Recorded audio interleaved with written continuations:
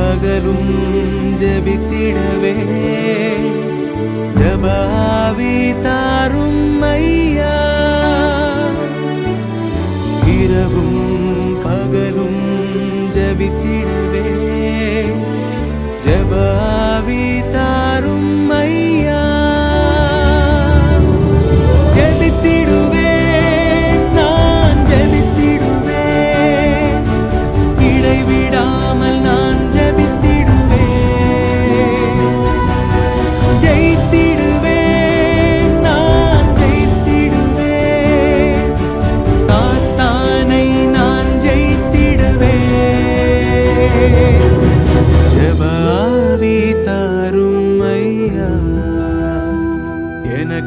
மன்றாட்டாவி தாரும் ஐயா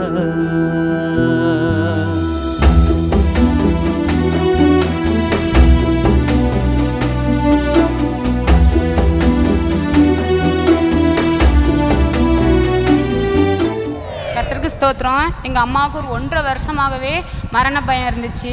அப்போது இந்த ரெண்டு மாத காலமாக ரொம்ப பயம் அதிகமாயிடுச்சு அவங்களுக்கு தண்ணியை பார்த்தாலும் பயம் ஒரு காரில் போனாலும் பயமாகவே இருந்துச்சு அப்போ போன மாதம் நசல் ஜெபத்துக்கு வந்திருந்தோம் அப்போ மந்திரவாதம் சூனை கட்டுக்காக அப்பா தரனை ஜோவி ஜபிக்கும் போது அந்த நேரத்தில் ஆண்டோட வெள்ளமே அவங்க மேலே இறங்கி அவங்க இருந்த அந்த பயத்தை ஆண்டு பிடுங்கி தான் உணர்ந்தாங்க கர்த்தருக்கு ஸ்தோத்திரம் கர்த்தருடைய பரிசுத்த நாமத்திற்கு ஸ்தோத்திரம் எங்களுக்கு ரெண்டாயிரத்தி எட்டில் திருமணமானது ஆனால் குழந்தை இல்லை ஒவ்வொரு ஹாஸ்பிட்டலும் போய் போய் மூணு மாதம் மூணு மாதம் தான் நிற்கும் இதுவரை மூணு வாட்டி எனக்கு அபாசனாயிருச்சு ஆயிடுச்சு தேவனுடைய கிருபைனால ரொம்ப மனம் உடஞ்சி போய் சத்தியம் டிவி பார்த்துருக்கும் போது அண்ணன் பேசினாங்க இது மாதிரி குழந்தை இல்லாதவங்களுக்காக நீங்கள் விசுவாசத்தோட ஜெபம் பண்ணுங்க அப்படின்னு அந்த மாதமே ஒரு மாதம் விசுவாசத்தோட ஜெபம் அடுத்த மாதமே நான் கன்சீவ் ஆகி அழகான எனக்கு தேவன் ஆரோன் குழந்தையை கொடுத்ததுக்காக கோடான கொடி நன்றி சார் கடந்த ஜனவரி மாதத்தில் என் கண்களில் கண் இடது பக்கம் முழுவதும் வீக்கமும் தலையெல்லாம் கொப்புளங்களும் இடது பக்கம் முழுவதுமே கொப்பளமலாக இருந்து மருத்துவரிடம் கடந்து சென்ற பொழுது மருத்துவர் சொன்னார் கண்ணின் நரம்பில் அக்கி என்கிற அம்மை புண் வந்திருக்கிறது என்று சொன்னார் கண்ணில் மூடவும் முடியாது திறக்கவும் முடியாதபடிக்கு சின்ன கல்லொன்று கண்ணுக்குள்ளார சிக்கி இருந்தால் எப்படி இடரல் உண்டாக்குமோ அப்படியான வேதனைகள் தாங்கவே முடியல என்னை அறிந்த அத்தனை பேர்களும் செபிச்சாங்க என்னோட பிள்ளைகள் பேர பிள்ளைகள் செபிச்சாங்க ஆனாலும் எனக்கு விடுதலை இல்லை ஆனால் விடுதலை ஜெபத்துக்கு நான் கடந்து வந்தேன் டெலிஃபோனில் சவம் பண்ணிக்கிட்டேன் இங்கே வந்து ஊழியரிடத்தில் சவம் பண்ணினேன் மாத்திரமல்ல கடந்த மாதத்தில் நான் வழக்கம் போல் திறப்பின் வாசல் ஜபத்துக்கு வந்து ஆண்டவரே என்னை உண்மையாளன்று எனக்கு ஒரு விடுதலை இல்லைப்பா நீர் தான் எனக்கு கதி இந்த வேதனையை தாங்குகிற பலனே எனக்கு இல்லை ஏசப்பா என்னை விடுவித்து ஊழியத்திற்கு ஆயத்தப்படுத்தும் என்று சொல்லி ஜெபித்து அந்த நாளில் கிட்டத்தட்ட எழுபது நாள் தீராத கண்களை மூடவும் முடியாது திறக்கவும் முடியாது அப்படியான வேதனையும் கொடூரமும் இருந்தது அந்த நாளில் எங்களுக்கு ரெண்டாயிரத்தி ஏழில் திருமணமாகி ரெண்டாயிரத்தி ஒம்போதில் ஆண்டவர் குழந்தை கொடுத்தாரு அவன் பிறந்த உடனே கோயில் படித்து வச்சில் ஃபிக்ஸ் வந்துருச்சு இல்லை ஒரு நாள் ஃபுல்லும் அளவே இல்லை ஃபிக்ஸு நிற்கவும் இல்லை எங்களுக்கு அங்கே போதுமான ட்ரீட்மெண்ட்டும் இல்லை அவங்க சொல்லிட்டாங்க நீங்கள் வேன்னா வெளியில் கொண்டு போங்க அப்படின்னு சொல்லிட்டு அப்புறம் நாங்கள் குழந்தைய வெளில கொண்டு வந்தோம் கொண்டு வந்து இருபத்தி மூணு நாள் வெளியில் ஹாஸ்பிட்டலில் வச்சு அந்த இருபத்தி மூணு நாளும் இருபத்தி மூணு பிரச்சனை ஒவ்வொரு நாளும் ஒவ்வொரு பிரச்சனையும் சொல்லுவாங்க அவங்க குழந்தைக்கு அது இருக்குது இது இருக்குது கிட்னி ப்ராப்ளம் இருக்குது யூரின் போல் வாய் திறக்கலை ஒவ்வொன்றா சொல்லுவாங்க சுகர் கூடி இருக்கணும் எப்படி ஒவ்வொன்றா கடந்து வந்துச்சு அப்புறம் இருபத்தி நாலாவது நாள் ஒருத்தர் வந்தார் இது எதுக்கு உங்கள் ஹாஸ்பிட்டலில் வச்சுருக்கீங்க தேராத கேஸை வீட்டுக்கு அனுப்பிட வேண்டிதானே அப்படின்னு சொல்லி சொன்னாங்க நாங்கள் அப்போ எங்களுக்கு என்ன செய்யிருந்தோம்னா அழுகத்தான் செஞ்ச உடனே எங்கள் பொள்ளாச்சியிலேருந்து எங்கள் சின்ன மாமியார் ஃபோன் பண்ணி நாலு மாவடி நம்பர் தரேன் நீ ஃபோன் பண்ணு அப்படின்னு சொல்லி நாங்கள் நைட்டு பன்னெண்டு மணி இருக்கோம் ஆண்டவரோட கூடத்துக்கு ஃபோன் பண்ணி ஜோம் பண்ண சொன்னோம் அவங்க சொன்னாங்க ஆண்டர் உங்கள் ஜீவனோட பிள்ளையை தருவார் நீங்கள் கவலைப்படாதீங்கன்னு சொல்லி நாங்கள் கண்ணீரோட ஜோம் பண்ணோம் ஆண்டவர் இம்மட்டும் எங்களுக்கு ஜீவனோட பிள்ளையை தந்தார் அவனுக்கு இப்போ பத்து வயசு ஆகுது ஆண்டவர் கிருபையா ஜீவனை கொடுத்தாரு ஆண்டவர் கொடான கொடி நன்றி ஆமே ஏசப்பா நான் கடன் பிரச்சனையில் அதிகமாக பாதிக்கப்பட்டு ஏதோ ஒரு இடம் வாங்க போனால் கொடுத்துர்லான்னு சொல்லிட்டு வாங்க போனோம் அதில் சிக்கிக்கிட்டு ஒன்றுமே பண்ண முடியலை தற்கொலை பண்ணிக்கலாமா என்னன்னு அப்படிலாம் தோணிட்டு அதிக அதிகமாக வந்து வந்து திறப்பின் வாசலில் ஜெபம் பண்ணிட்டு கண்ணீரோடு பொருத்தனையோடு நான் அழுதுட்டு போவேன் பாண்டோர் எனக்கு சொந்தக்காரவங்க உறவினர்கள்லாம் தன்னா முன்னாடியே வந்து கொடுக்க செஞ்சு அந்த கடனையெல்லாம் அடைக்க செய்தார் ஏசப்பா கொடான கொடி சோத்திரம் எங்களுக்கு ரெண்டாயிரத்தி பதினைந்தாம் ஆண்டு மே மாதம் ஒன்றாந்தேதி திருமணமானது திருமணமான ரெண்டு வருஷமாக குழந்தை பாக்கியம் இல்லாமல் இருந்தது ரெண்டாயிரத்தி பதினேழாவது வருஷத்தில் ஜனவரி மாதம் ஒன்றாந்தேதி வாக்தத்த கூட்டத்துக்காக நாங்கள் கடந்து வந்திருந்தோம் அப்போது உன் துக்க நாட்கள் முடிந்து போவோம் அப்படின்ற வாக்தத்தத்தை வச்சு அங்கிள் ப்ரேயர் பண்ணாங்க அந்த வாக்குத்தத்தை தான் தினமும் சொல்லி ப்ரேயர் பண்ணுவோம் அதுக்கப்புறமா அதே வருஷத்தில் எங் நான் கன்சீவாக கிருபை செஞ்சாங்க ஐசப்பா ரெண்டாயிரத்தி பதினெட்டாம் வருஷம் ஏப்ரல் இருபத்தேழாந்தேதி தேதி போன வருஷம் இதே நாளில் பாப்பா சோஜல் ஐடா சென்று அழகான ஒரு குழ பெண் குழந்தை பெற்றெடுக்க கிருபை செய்தார் கர்த்தரு நாமம் மயமப்படுவதாக என்னுடைய அப்பாவுக்கு கடந்த ஆறு மாதத்துக்கு முன்னாடி திடீர்னு நெஞ்சுவலி வந்துருச்சு அப்புறம் ஹாஸ்பிட்டலில் அட்மிட் பண்ணதுக்கு என்ன சொல்லிட்டாங்க நீங்கள் ஆன்ஜியோ கண்டிப்பாக பண்ணி ஆகணும் ஹார்ட்டில் பிளாக் இருக்கிற மாதிரி இருக்குதுன்னு சொல்லி சொன்னாங்க நாங்கள் அன்றைக்கி நைட்டு ஜீசஸ் ரெடிம்ஸ்க்கு கால் பண்ணி இந்த மாதிரி ஆன்ஜியோ பண்ணணும்னு சொல்கிறாங்க எங்களுக்கு அடுத்து நான் நாளைக்கு செக் பண்ணும்போது அந்த ரிசல்ட்டில் அந்த எல்லாமே நார்மலாக இருக்கணும் ஆன்ஜியோ பண்ணக்கூடாதுன்னு சொல்லி ரிசல்ட் வரணும்னு சொல்லிட்டு ப்ரே பண்ணிட்டு போனோம் எல்லாருமே அடுத்த நாள் நாங்கள் எல்லாம் செக் பண்ணும்போது எல்லாமே நார்மலாக இருந்துச்சு டாக்டர்ஸே ஆன்ஜியோ பண்ண வேணான்னு சொல்லி சொல்லிட்டாங்க கர்த்தருடைய நாமத்துக்கு சோஸ்திரம்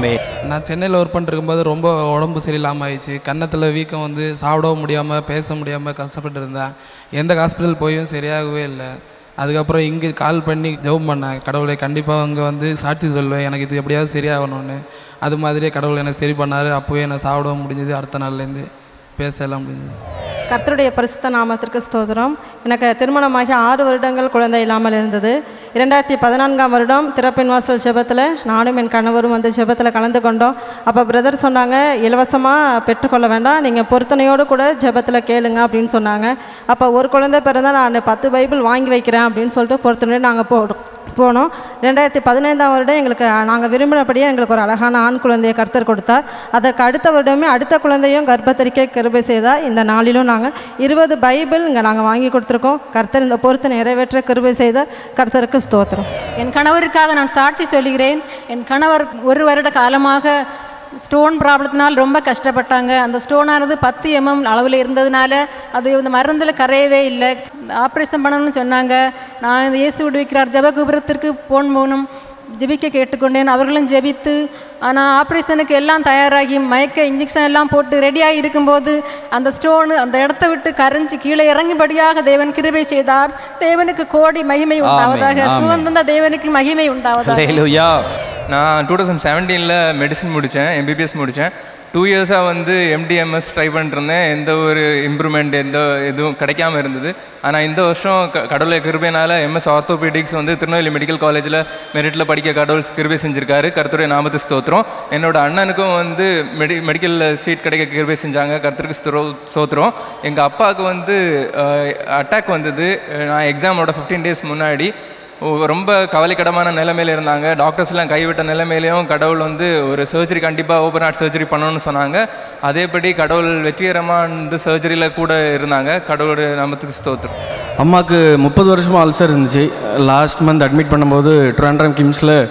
ப்ரேயர் பண்ணிகிட்டு இருந்தேன் ஆண்டவரே சரியாச்சுன்னா நாலு மாவடியில் போய் சாட்சி சொல்லுவேன் அப்படின்னு நான் ப்ரேயர் பண்ணி முடிக்கவும் அம்மா எழும்பி இருந்தாங்க வாமிட்டிங் இருந்துச்சு எந்த வாமிட்டிங்குமே இல்லை அது ஒரு பெரிய அதிசயம் ஆண்டவருக்கு நன்றி எனக்கு வந்து வேலை முடிஞ்சு கொஞ்சம் கான்ட்ராக்ட் முடிஞ்சு ஃப்ரீயாக இருந்தேன் ஆண்டவரே உடனடியாக வேலை வேணும் அப்படின்னு கேட்டுட்டு இருக்கும்போது லாஸ்ட் வீக் எனக்கான வேலைக்கான ஆர்டர் வந்திருக்கு அதுக்கும் ஆண்டவருக்கு மிகப்பெரிய நன்றி two thousand sixteen November twenty ninth எனக்கு டெலிவரி ஆச்சு டெலிவரி ஆன நாள் பார்த்திங்கன்னா குழந்தைக்கு வந்து ஒரு காது நல்லா இருக்குது ஒரு காதில் ஓட்டை இல்லை டாக்டர்ஸ் எல்லாம் சொன்னாங்க ஒரு காதில் ஓட்டை இல்லாதனால பாப்பாவுக்கு காது கேட்காதோ பேச மாட்டாளோன்னு சொன்னாங்க ஒன் மந்த் ஆனப்போ டாக்டர்கிட்ட கூட்டிகிட்டு போய் காட்டினதுக்கு டாக்டர் சொன்னாங்க டெஸ்ட் பண்ணி பார்க்கலான்னு சொல்லி பாப்பா வந்து அழுதுகிட்டே இருந்ததுனால டெஸ்ட் பண்ண முடியாது முடிய முடியலை அதனால டாக்டர் சொன்னாங்க எயிட்டி பர்சன்ட் கேட்குமோன்னு சொல்லி சொன்னாங்க நான் வீட்டுக்கு வந்து அழுதுட்டு இருக்கும் போது எங்கள் மாமா அத்தை மோகன் சிலாசர்ஸ் ப்ரையரை கேளு அற்புதம் நடக்கும்னு சொன்னாங்க அடுத்த வாரம் நான் போய் ப்ரை அந்த டெஸ்ட் பண்ணும்போது டாக்டர் சொன்னாங்க ரெண்டுக்கு அதுவுமே நல்லாயிருக்கு ஒன்றும் பிரச்சனை இல்லைன்னு சொன்னாருங்க இப்போ எல்லா குழந்தைங்க மாதிரி நல்லாவே பேசுகிறேன் நல்லாவே கேட்குது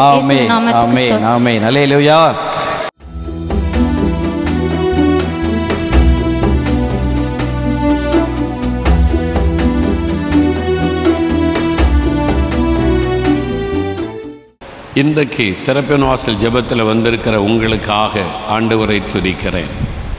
ஏதோ ஒரு தேவையோடு நீங்கள் வந்திருக்கலாம் இன்றைக்கி எனக்கு ஒரு சுகம் கிடைச்சிரும் ஆண்டவர் என்னை குணமாக்கிடுவார் அப்படின்னு ஒரு எதிர்பார்ப்போடு வந்திருக்கலாம் எனக்கு ஒரு விடுதலை வேணும்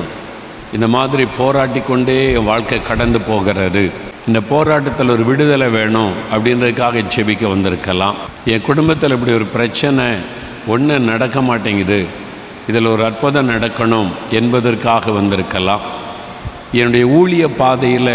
நிறைய போராட்டங்கள் எதுவுமே சரியாக வாய்க்க மாட்டேங்குது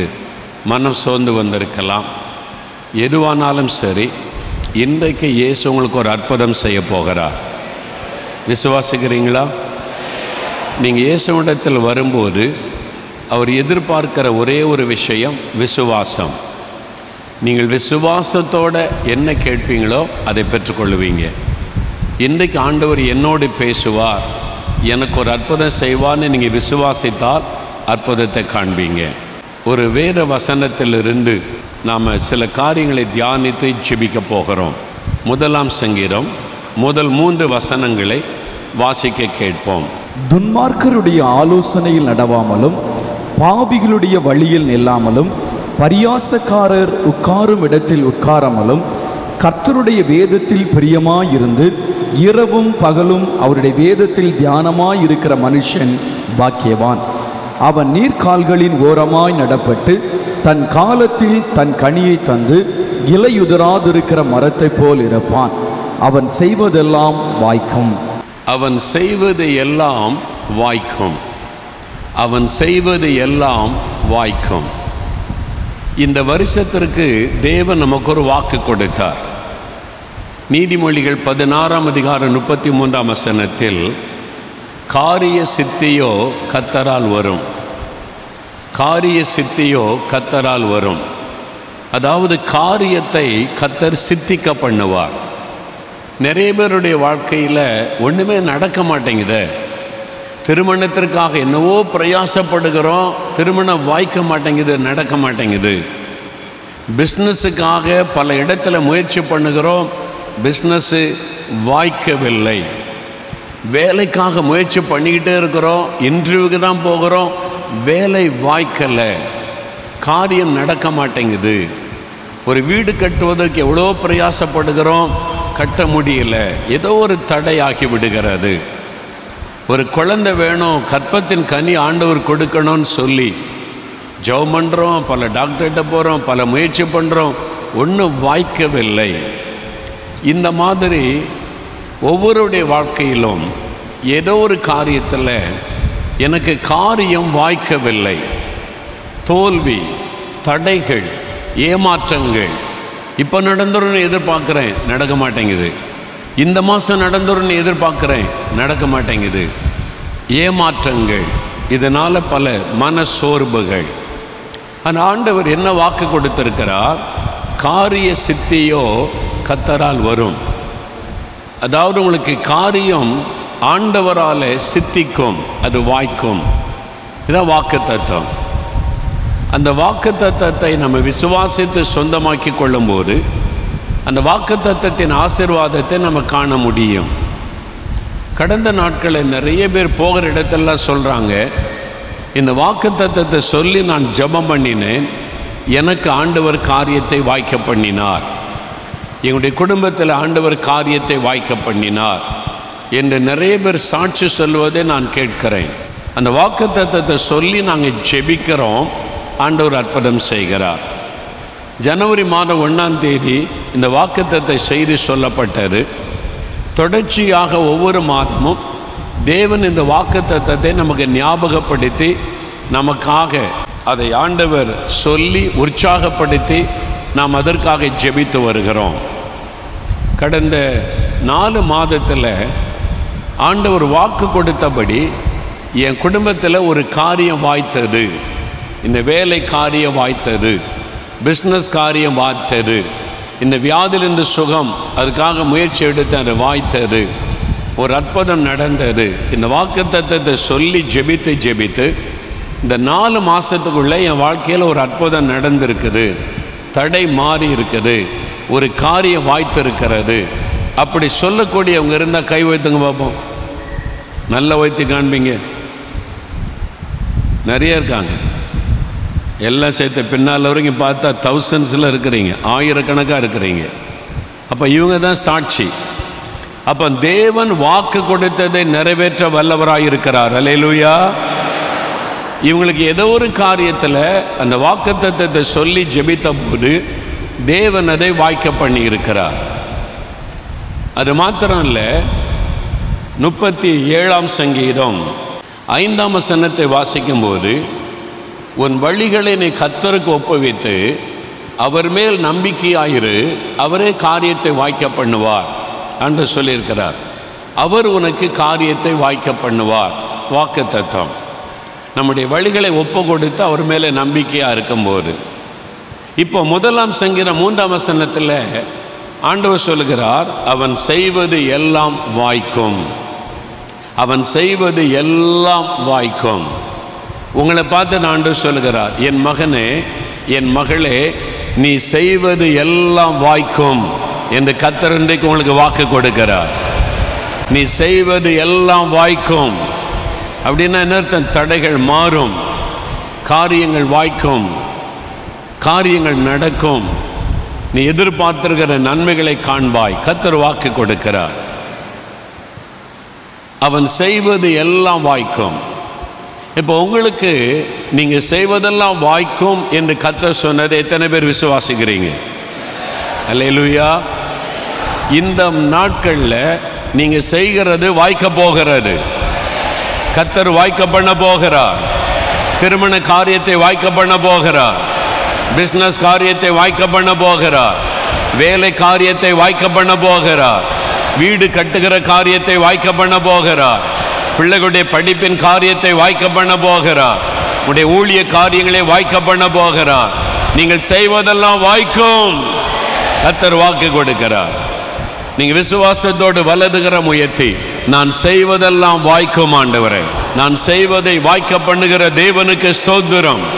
நான் செய்வதை வாய்க்க பண்ணுகிற தேவனுக்கு ஸ்தோத்திரம் அல்லேலூயா சரி யார் செய்வதெல்லாம் வாய்க்கும் ஆண்டு சொல்லிட்டார் அவன் செய்வதெல்லாம் வாய்க்கும் நாம் செய்கிற காரியம் வாய்க்க வேண்டுமானால் நாம் என்ன செய்யணும் இந்த முதலாம் சங்கீதத்தை வாசிக்கும்போது ஒரு ரெண்டு காரியங்களை ஆவியானவர் உங்களுக்கு ஞாபகப்படுத்தும்படி சொல்லுகிறார் முதலாவது துன்மார்க்கருடைய ஆலோசனையில் நடவாமலும் பாவிகளுடைய வழியில் நில்லாமலும் பரியாசக்காரர் உட்காரும் இடத்தில் உட்காராமலும் முதல்ல ஒரு காரியம் ஆண்டு சொல்லுகிறார் நீங்கள் ஒரு காரியத்தை விட்டு விலகணும் ஒரு காரியத்தை விட்டு நீங்கள் விலக வேண்டும் துன்மார்க்கர் பாவிகள் பரியாசக்காரர் இப்படிப்பட்ட மனிதர்கள் அவருடைய செயல்கள் அதை விட்டு நீங்கள் விலகணும் என்று ஆண்டு சொல்லுகிறார் அதான் முதலாவது ரெண்டாவது வசனத்தை தியானிக்கணும் ரெண்டு காரியம் சொல்லுகிறார் முதலாவது நீங்கள் விலக வேண்டும் சில சமயம் ஆண்டவர் நம்மை ஆசிர்வதிக்க விரும்பியும் கூட ஆண்டவர் நம்முடைய காரியத்தை வாய்க்க பண்ணி மகிழ பண்ணி விரும்பியும் கூட ஏன் அது வாய்க்காமல் போகிறது ஏன் அந்த காரியம் தடைப்பட்டு போகிறது நம்ம சில காரியத்தை விட்டு விலக வேண்டும் என்று ஆண்டவர் எதிர்பார்க்கிறார்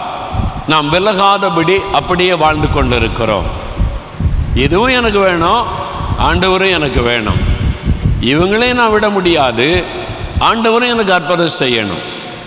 என அப்படியே இல்லை ஆண்டவர் சொல்லுகிறார் நீ சில காரியத்தை விட்டு விலக வேண்டும் துன்மார்க்கருடைய ஆலோசனை விட்டு விலகணும் பாவிகளுடைய வழிகளை விட்டு விலகணும் பரியாசக்காரர் உட்காருகிற இடத்தை விட்டு நீ விலக வேண்டும் இவங்க தேவனை துக்கப்படுத்துகிறவர்கள் பாவிகள் என்று சொல்லும்போது நம்மை வேதனைப்படுத்திக் கொள்ளக்கூடிய பாவத்தை செய்கிறவர்கள் தேவனுடைய ஆலயமாகிய சரீரத்தை மதுபானத்தினாலே போதை வஸ்துகளினாலே சில லாகரி வஸ்துகளினாலே கெடுத்து நம்முடைய ஆத்மாவை கரைப்படுத்தி தேவனை துக்கப்படுத்துகிறவர்கள் இந்த பாவமான வழிகள் பாவமான காரியம் அது துன்மார்க்கம் என்று சொல்லும்போது சமுதாயத்தை பாதிக்கிறபடி நடந்து கொள்கிறவர்கள் பணத்துக்காக எதையும் செய்கிறவர்கள் பணத்துக்காக யாரையும் அவங்க அழித்துவிட துணிந்தவர்கள் நான் மட்டும் வாழ்ந்திருந்தால் போதும் என்று மற்றவர்களுடைய வாழ்க்கை அழிந்து போனால் பரவாயில்லை என்று துணிந்து நிற்கிறவர்கள் மற்றவர்களை காலின்களை நசுக்கி தான் மாத்திர வாழ்ந்திருக்க வேண்டும் என்று எண்ணுகிறவர்கள் சமுதாயத்திலே பாதிப்பை உண்டாக்குகிறவர்கள் ஒரு வியாபாரம் செய்கிறார் ஒருவேளை கொஞ்சம் லாபம் அதிகம் வைக்கிறான் அந்நியாய லாபம் அது பாவமாக இருக்கலாம் அதை சரி பண்ணி கொள்ளணும் சிலர் கலப்படம் செய்து அதனால் பணம் சம்பாதிக்க நினைக்கிறவர்கள் அந்த கலப்பட பொருளினாலே அநேகருடைய சரீரங்கள் பாதிக்கப்படுகிறது நோயுள்ளவர்களாய் மாறுகிறார்கள் அது ஒரு துன்மார்க்கம் சமுதாயத்தை பாதிக்கிற விஷயம் யார் செத்தா எனக்கு என்ன நான் பணம் சம்பாதிக்கணும் யாருடைய சரீரம் பாதிக்கப்பட்டு போனால் எனக்கு என்ன எனக்கு சம்பாத்தியம் அவ்வளவுதான் துணிகரமாய் கலப்படங்கள் செய்வது துணிகரமாய் சமுதாயத்திற்குள்ளே பாவத்தை கொண்டு வருவது அவங்க துன்மார்க்கமானவர்கள் பணத்துக்காக எதை செய்யக்கூடியவர்கள் இன்னொரு கூட்டத்தார் இருக்கிறாங்க பரிகாசக்காரர்கள் எப்பவும் மற்றவங்களை பரிகாசம் பண்ணுவது மற்றவர்களை கேலி பண்ணுவது மற்றவர்களை குறை சொல்லுவது இந்த மாதிரி ஆட்கள் இருக்கிறாங்க ஆண்டவர் சொல்லுகிறார் இப்படிப்பட்டவளை விட்டு நீ விலக வேண்டும் உங்கள் வாழ்க்கையில் யோசித்து பாருங்கள் உங்கள் வீட்டில் வசிக்கிற இடத்துல உங்கள் தெருவில் நீங்கள் வேலை செய்கிற இடத்துல நீங்கள் வசிக்கிற உங்களுடைய கிராமத்தில் உங்களுடைய பட்டணத்தில் உங்களை சூழ்ந்திருக்கிற மக்கள் உங்கள் கூட வேலை பார்க்குறவங்க படிக்கிறவங்க பழகிறவங்க கொஞ்சம் யோசித்து பாருங்கள் இந்த மாதிரி மக்கள் இருக்கிறாங்களா அவங்களோட நீங்கள் ஐக்கியம் வச்சுருக்கிறீங்களா அவங்களோட ரொம்ப தோழமையாக ஃப்ரெண்ட்ஷிப் வச்சுருக்கிறீங்களா யோசித்து பாருங்கள் அவங்க கூட சேர்ந்து நீங்களும் பேசுகிறீங்க பரிகாசம் பண்ணுறீங்க அவங்க கூட சேர்ந்து நீங்களும் சில பாவ காரியத்தை செய்கிறீங்க அவங்க கூட சேர்ந்து நீங்களும் சில இதெல்லாம் தப்பு இல்லை இதெல்லாம் நான் ஆண்டவர் பார்த்துக்க மன்னிச்சிருவார் அப்படின்னு சாதாரணமாய் நினைத்து மற்றவர்கள் பாதிக்கப்படுவார்களே என்ற உணர்வு கூட இல்லாமல் சுயநலமாய் வாழுகிறவர்கள் இப்படிப்பட்ட ஆட்களோடு உங்களுடைய ஐக்கியத்தை வச்சுருக்கிறீங்களா ஆண்டவர் சொல்லுகிறார் முதல்ல நீ விலகணும் இப்படிப்பட்ட ஆட்களை விட்டு நீ விலகணும் இப்படிப்பட்ட சம்பந்தமுள்ள ஆட்களை விட்டு நீ பிரிந்து போகணும் அதை விட்டு விலகினாதான் நீ செய்வதெல்லாம் வாய்க்கும் என்று ஆண்டவர் சொல்லுகிறார் நம்ம விலக வேண்டிய சில காரியம் இருக்கிறது அதை யோசித்து பாருங்க நான் எதை விட்டு விலகணும்னு கத்தர் விரும்புகிறார் என்பதை சிந்தித்து பாருங்கள் ஆனால் இன்றைக்கு உங்களுடைய வாழ்க்கையில் உங்களுடைய பிஸ்னஸில் நீங்கள் வாழ்ந்து கொண்டு இருக்கிற இடத்துல யோசித்து பாருங்கள் கிராமங்களில் தான் பார்த்தீங்களா சில நிறைய இடத்துல வீடுகளில் திண்ணை இருக்கும் சில ஆட்கள் பாருங்கள் எப்பவுமே அந்த திண்ணையிலே உட்காந்துக்கிட்டு இருப்பாங்க பார்த்துருக்கீங்களா நிறைய பெண்கள் திண்ணையிலே உட்காந்துக்கிட்டு இருப்பாங்க யாராவது வந்தால் ரெண்டு மூணு பேர் உட்காந்து கதை பேசுகிறாரு என்ன பேசுவாங்க இந்தியாவை எப்படி முன்னேற்றலான்னே பேசுவாங்க உனக்கு தெரியுமா அந்த வீட்டில் இந்த வீட்டில் அவா வீட்டில் இவன் வீட்டில் அடுத்த ஆள் கதையே பேசி உட்காந்துருக்கு நேரத்தை வீணாக்குவது அந்த வழியாக நீங்கள் போனீங்கன்னு வைங்களேன் உங்களை கூடுவாங்க எங்கே போகிற கடைக்கு போகிறியா கொஞ்சம் வா நீ நீங்கள் சேர்ந்தீங்க உங்களையும் கெடுத்துருவாங்க ஆனால் தான் பரிகாசக்காரர் உட்கார இடத்துல உட்காராதுன்றார் ஆண்டவர் உங்களுக்கு தெரியும் அவங்க பரிகாசம் பண்ணுறவங்க அடுத்த ஆள்களை பற்றி பேசுகிறவங்க வெட்டி கதை பேசுகிறவங்க அடுத்த குடும்பத்தை பற்றி கேவலமாக பேசி கொண்டு இருக்கிறவங்க உங்களுக்கு தெரியும் நீங்கள் போய் உட்கார்ந்தீங்கன்னா உங்களை அறியாமல் கொஞ்சம் நேரத்தில் பேச ஆரம்பிச்சிருவீங்க அது தேவன் அருவருக்கிற ஒரு பாவம் அது உங்களுடைய ஆசிர்வாதத்தை கெடுக்கிற ஒரு பாவம் அதனால தான் நீ விலகுன்றார் ஆண்டவர் இந்த மாதிரி ஆட்கள் கூப்பிட்டா கூட நீங்கள் ஃப்ரீயாக இருப்பீங்க எனக்கு வேலை இருக்க நான் போகிறேன்னு சொல்லி போயிடணும் அவங்களோட உட்காந்து கதை பேசக்கூடாது அவங்கள விட்டு விலகணும் பரிகாசம் பண்ணுகிற அவர்களோடு நீங்கள் ஐக்கியமாக இருக்கக்கூடாது என்று ஆண்டவர் சொல்லுகிறார் அப்போ ஆட்கள்கிட்ட பேசலாம் கூடாதுன்னா பேசலாம் நீங்கள் நேசிக்கணும் பேசணும் அவ்வளோதான் தோழமையாக இருக்கக்கூடாது ஐக்கியமாக இருக்கக்கூடாது சில ஆண்கள் பாருங்கள் கிராமத்தில் டீ கடையிலே உட்காந்துருப்பாங்க பார்த்துருக்கீங்களா சில ஆட்கள் டீ கடையில் உட்காந்து பேசுனா அமெரிக்காவை இந்தியாவுக்குள்ளே கொண்டு வர்ற மாதிரி பேசுவாங்க சில ஆட்கள் ஆனால் வீட்டுக்கு நயா பைசாவுக்கு பிரயோஜனம் இருக்கார் அஞ்சு பைசா சம்பாதிச்சு வீட்டுக்கு கொண்டு வர மாட்டார் ஆனால் டீ கடையில் உட்காந்து அவர் பேசுகிறத பார்த்தீங்கன்னா எங்கள் ஊரில் நான் பார்த்துருக்கேன் நான் காலையில் முதலாள டீ கடையில் இருப்பார் மத்தியானம் போனாலும் அங்கே தான் இருப்பார் சாயங்காலம் போனாலும் அங்கே தான் இருப்பார் அவருக்கு என்ன வேலையே இல்லையான்னு சொன்னால் வேலை கிடையாது சம்பாதிக்கிறது கிடையாது சோம்பேறியாக உட்காந்து அடுத்த ஆளை பற்றி பேசி கொண்டு இருப்பார் இந்த மாதிரி ஆட்களை விட்டு விலகணும்னு கத்த சொல்லுகிறார் அந்த மாதிரி ஆட்களோடு ஐக்கியப்படக்கூடாது இந்த மாதிரி வெட்டி கதை பேசுகிறவங்க வீண் கதை பேசுகிறவங்க அடுத்தவங்களை பற்றி குறை சொல்லுகிறவர்கள் அவர்களை விட்டு விலகி விட வேண்டும் அவங்களோடு நீங்கள் உட்கார்ந்தீங்கன்னா ஐக்கியப்பட்டீங்கன்னா உங்களை அறியாமல் அவங்களோட இன்வால்வ் ஆகிருவீங்க நீங்களும் அந்த பாவத்தை செய்ய ஆரம்பிச்சிருவீங்க அதனால தான் ஆண்டவர் சொல்லுகிறார் அப்படிப்பட்டவளை விட்டு நீ விலகு ரட்சிக்கப்பட முன்னால் நீங்கள் நிறைய பேரோட ஃப்ரெண்ட்ஷிப்பாக இருந்திருப்பீங்க ஒன்றா சினிமாவுக்கு போகிறது ஒன்றா சாரை கடைக்கு போகிறது ஒன்றா போய் தவறான பாவ பழக்கங்களில் ஈடுபடுவது எல்லாம் செய்தார் ரட்சிக்கப்பட்ட பிறகு அவங்களோட நீங்கள் போக முடியாது அவங்களோட நீங்கள் ஐக்கியப்பட முடியாது அவங்க துன்மார்க்கராக இருக்கிறாங்க பாவிகளாக இருக்கிறாங்க பாவமான காரியத்தை செய்கிறாங்க அவங்கள விட்டு விலகணும் சிலர் சொல்லுவாங்க ஃப்ரெண்ட் ஆகிட்டோம் எவ்வளோ இத்தனை கால ஃப்ரெண்ட்ஷிப் இயேசுவை ஏற்றுக்கொண்டதுனால அவங்கள விட்டு விலகிறதா அப்படின்னு கேட்டால் அவங்கள நேசிக்கக்கூடாதா அவங்கள்ட்ட அன்பாக இருக்கக்கூடாதான்னா அவங்கள்ட்ட அன்பாக தான் இருக்கணும் அவங்கள நேசிக்கணும் அவங்கள கண்டு அன்பாக பேசிக்கொள்ளணும் அது பாவம் கிடையாது நீங்கள் அவங்கள்ட்ட ஃப்ரெண்ட்ஷிப்பாக இருந்தால் தான் அவங்கள ரட்சிப்புகளை நடத்த முடியும் ஆனால் அவங்களுடைய பாவ வழிகளில் அவங்களுடைய துன்மார்க்க வழிகளில் நீங்கள் பங்குள்ளவர்களாக இருக்கக்கூடாது அவங்களோட தோழமையாக இருக்கக்கூடாது அவங்க கூட சேர்ந்து நீங்கள் சாரை கடைக்கு போகக்கூடாது அவங்க கூட சேர்ந்து மற்றவங்களை ஏமாத்துகிற காரியத்துக்கு போகக்கூடாது அந்த வழிகளை விட்டு விலகணும் அது ஆண்டு சொல்லுகிறார் சில வழிகளை விட்டு நீங்கள் விலகணும் நான் உலகத்தான் அல்லாததை போல நீங்கள் உலகத்தார் அல்ல அதனால் அவங்களை விட்டு விலகுங்கன்னு ஆண்டவர் சொல்லுகிறார் நீங்கள் ரட்சிக்கப்பட்ட பிறகு ரட்சிக்கப்படாத ஒரு ஆளோட உலகத்தை சிநேகிக்கிற உலகத்தின் மீது மோகமுள்ள ஒரு ஆளோடு தோழமையாக இருந்தீங்கன்னா சீக்கிரம் உங்களை வழிவிலக பண்ணிடுவாங்க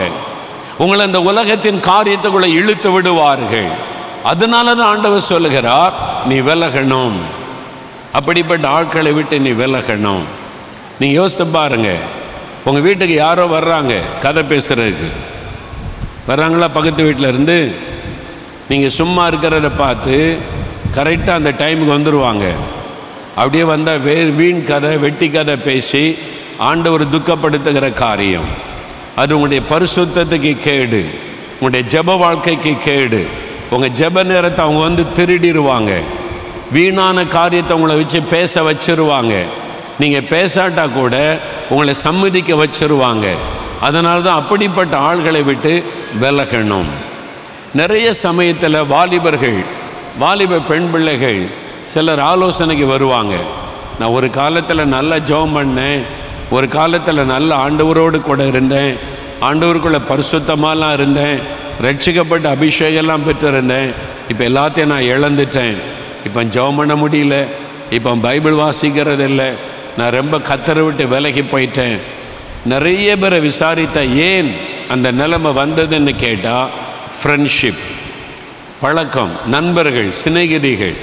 இவங்களால் நான் வழி விலகி போயிட்டேன் அவங்களால நான் கத்தரை விட்டு தூரமாக போயிட்டேன் அப்படி சொல்கிறவங்க தான் அதிகம் பேர் இருக்கிறாங்க அதனால தான் ஆண்டவர் ஆலோசனை கொடுக்கிறார் நீ மனிதர்களுக்கு ஒரு எச்சரிக்கையாயிரு யாரோடு கூட ஃப்ரெண்ட்ஷிப் வைத்திருக்கிறாய் யாரோடு கூட நீ ஐக்கியப்படுகிறாய் யாரோடு நீ தோழமை வைத்திருக்கிறார் அப்படிப்பட்ட மனிதர்களை குறித்து எச்சரிக்கையாயிரு குறை சொல்லுகிற ஆளோடு நீங்கள் ஐக்கியம் வைத்தால் நீங்களும் குறை சொல்ல ஆரம்பிச்சிருவீங்க உங்களுக்கு அறியாமல் அந்த சுபாவம் உங்களுக்குள்ளே வர ஆரம்பித்து விடும் அது உங்களுடைய ஆவிக்குரிய வாழ்க்கையை பாதிக்கும் தேவன் உங்களை ஆசிர்வதிப்பதை அது பாதிக்கும் அதனால தான் ஆண்டவர் சொல்லுகிறார் துன்மார்க்கரை விட்டு பரிகாசக்காரரை விட்டு பாவிகளை விட்டு என்னை விலகு அந்த வழிகளை பின்பற்றாத அவனுடைய ஆலோசனைக்கு செவி கொடுக்காத அவளை விட்டு விலகு என்று கத்த சொல்லுகிறார் அப்போ நீங்கள் விலக வேண்டிய ஏதோ ஒரு காரியம் இருக்கிறார் யோசித்து பாருங்கள் நீங்கள் விலக வேண்டிய யாரோ ஒரு நபர் உங்கள் வாழ்க்கையில் இருக்கிறாங்க அவங்க வந்த பிறகு தான் உங்கள் வீட்டுக்குள்ளே சமாதானம் பாதிக்கப்பட்டு போச்சு அவங்க வந்த பிறகு தான் அவங்களுடைய ஆவிக்குரிய வாழ்க்கை பாதிக்கப்பட்டு போச்சு இது யோசித்து பாருங்கள் கத்தர் பேசுகிறார் இப்போ இயேசு வேணுமா அவங்க வேணுமா ரெண்டில் ஒன்று தான் தெரிந்து கொள்ள முடியும் இயேசு வேணும்னா அவங்கள ஒதுக்கி தான் வைக்கணும் இல்லையா அதுக்காக நான் உன்ட்ட பேசலாம் மாட்டேன் ஆண்டு சொல்லிட்டார் உன்ட்ட பேசக்கூடாது நீ பேசாத அப்படின்னு முகத்தை திருப்ப சொல்லலை அவன்கிட்ட பேசுங்க அவன்கிட்ட அன்பாருங்க அவங்ககிட்ட நீங்கள் சந்தோஷமாக பழகுங்க தப்பு கிடையாது தோழமையாக இருக்கக்கூடாது ஐக்கியமாக கூடாது அவங்க போகிற இடத்துக்கெல்லாம் பின்னால் போகக்கூடாது அவங்க சொல்கிறபடி நீங்கள் கேட்கக்கூடாது அதுதான் ஆண்டவருடைய வசனம் சொல்லுகிறார் அதனால் இதில் நீங்கள் கவனமாக இராவிட்டால் உடைய காரியங்கள் பாதிக்கும் வேத புஸ்தகத்தில் அருமையான ஒரு ராஜா யோசபாத் அவனை குறித்து ரெண்டு நாளாகவும் இருபதாம் அதிகாரத்தில் பார்க்கிறோம் பதினேழாம் அதிகாரத்திலிருந்து வாசித்தாலே இந்த யோசபாத்தை குறித்து வேதத்தில் வாசிக்கிறோம் யோசபாத் தேவனுக்கு பயந்து கத்தருடைய வழிகளிலே நடந்தவர் அதனால் கத்தர் அவரை ஆசிர்வதித்து அவருக்கு செல்வங்கள் ஆசிர்வாதங்கள் எல்லாம் திரளாய் கொடுத்தார் தேவனால் ஆசிர்வதிக்கப்பட்ட மனிதர் யோசபாத் ரெண்டு நாளாக இருபதாம் அதிகாரத்தில் மூன்று ராஜாக்கள் யோசபாத்துக்கு விரோதமாய் வர்றாங்க அப்போ என்ன செய்கிறது அவங்களோட யுத்தம் பண்ண பலன் இல்லை அவர் ஜபம் பண்ணுகிறார் கத்தர் பதில் கொடுக்கிறார் மூன்று ராஜாக்கள் விரோதமாக வந்தவங்களை ஆண்டவர் சிதறடித்து யோசபாத்துக்கு பெரிய வெற்றியை கொடுக்கிறார் சத்தர்கள் அவரை தொட முடியலை அந்த அளவிற்கு கத்தர் யோசபாத்த மேலே அன்பு வைத்து அவரை பாதுகாத்து ஆசிர்வதித்து உயர்த்தி வந்தார் ஆனால் ஒரு சமயம் வரும்போது இந்த யோசபாத்தனுடைய ஒரு காரியம் தோல்வி அடைகிறார் அவர் காரியம் வாய்க்கவில்லை அவருக்கு ஒரு காரியம் சித்திக்கவில்லை ரெண்டு நாளாகவும் இருபது முப்பத்தி ஏழு மரைசா ஊரானாகிய தொதாவின் குமாரனான எலியேசர் யோசபாத்துக்கு விரோதமாக தீர்க்க தரிசனம் சொல்லி நீர் அகசியாவோடே கூடிக்கொண்டபடியினால் கர்த்தர் உம்முடைய கிரியைகளை முறித்து போட்டார் என்றான் அந்த கப்பல்கள் உடைந்து போயிற்று அவர்கள் தர்ஷீஷுக்கு போகக்கூடாமற் போயிற்று இந்த யோசபாத் ஒரு ராஜா யூதாவினுடைய ராஜா கப்பல் கட்டுகிறான் அவன் வந்து ஒரு கப்பல் செய்து அதன் மூலம் வணிகம் செய்யணும் நாட்டுக்கு ஒரு ஆசிர்வாதம் சொல்லி கப்பல் கட்டுகிறான் வசனம் சொல்லுகிற தேவன் அதை முறித்து போட்டாராம் கப்பல் உடைந்து போனது வாய்க்கலை யோசபாத்தை கத்தர் இதுவரைக்கும் ஆசீர்வதித்து உயர்த்து கொண்டே வந்தார் அவன் யுத்தம் பண்ண போகும்போது பெரிய வெற்றியை கொடுத்தார் இப்போ கப்பல் செய்யும்போது அது உடைந்து போனது கத்தர் அதை சிதைத்து போட்டார்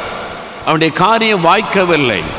கப்பல் கட்டிடலாம் பிரயாணப்படலாம் நமக்கு பெரிய பிஸ்னஸ் வரப்போகுது அப்படின்னு ஆவலோடு காத்திருந்தால் கப்பல் உடைந்து விட்டது வாய்க்கவில்லை வேதம் சொல்லுகிறது ஏன் அந்த காரியம் நடந்தது யோசபாத்து தேவனுக்கு முன்பாக சாட்சியாக நடந்த மனிதன் தானே பின் ஏன் அப்படி நடந்தது ரெண்டு நாளாகமும் இருபது முப்பத்தி ஐந்து அதற்கு பின்பு யூதாவின் ராஜாவாகிய யோசபாத் பொல்லாப்பு செய்கிறவனான அகசியா என்னும் இஸ்ரவேலின் ராஜாவோடே தோழமை பண்ணினான் இவன் கத்தருக்கு பயந்து ஆண்டோடைய வழிகளில் நடக்கிறவன் யூதாவின் ராஜாவாகிய யோசபார் இஸ்ரேவேல் தேசத்து பக்கத்து நாட்டு இஸ்ரேவேல் தேசத்தினுடைய ராஜா அகசியா அவன் தேவனை குறித்த பயமில்லாதவன் பொல்லாப்பு செய்கிறவன்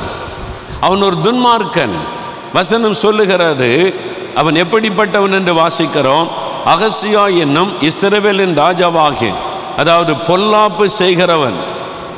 அவன் பொல்லாதவன் பொல்லாங்கு செய்கிறவன் அவனோடு அவன் தோழமையாயிருந்தான்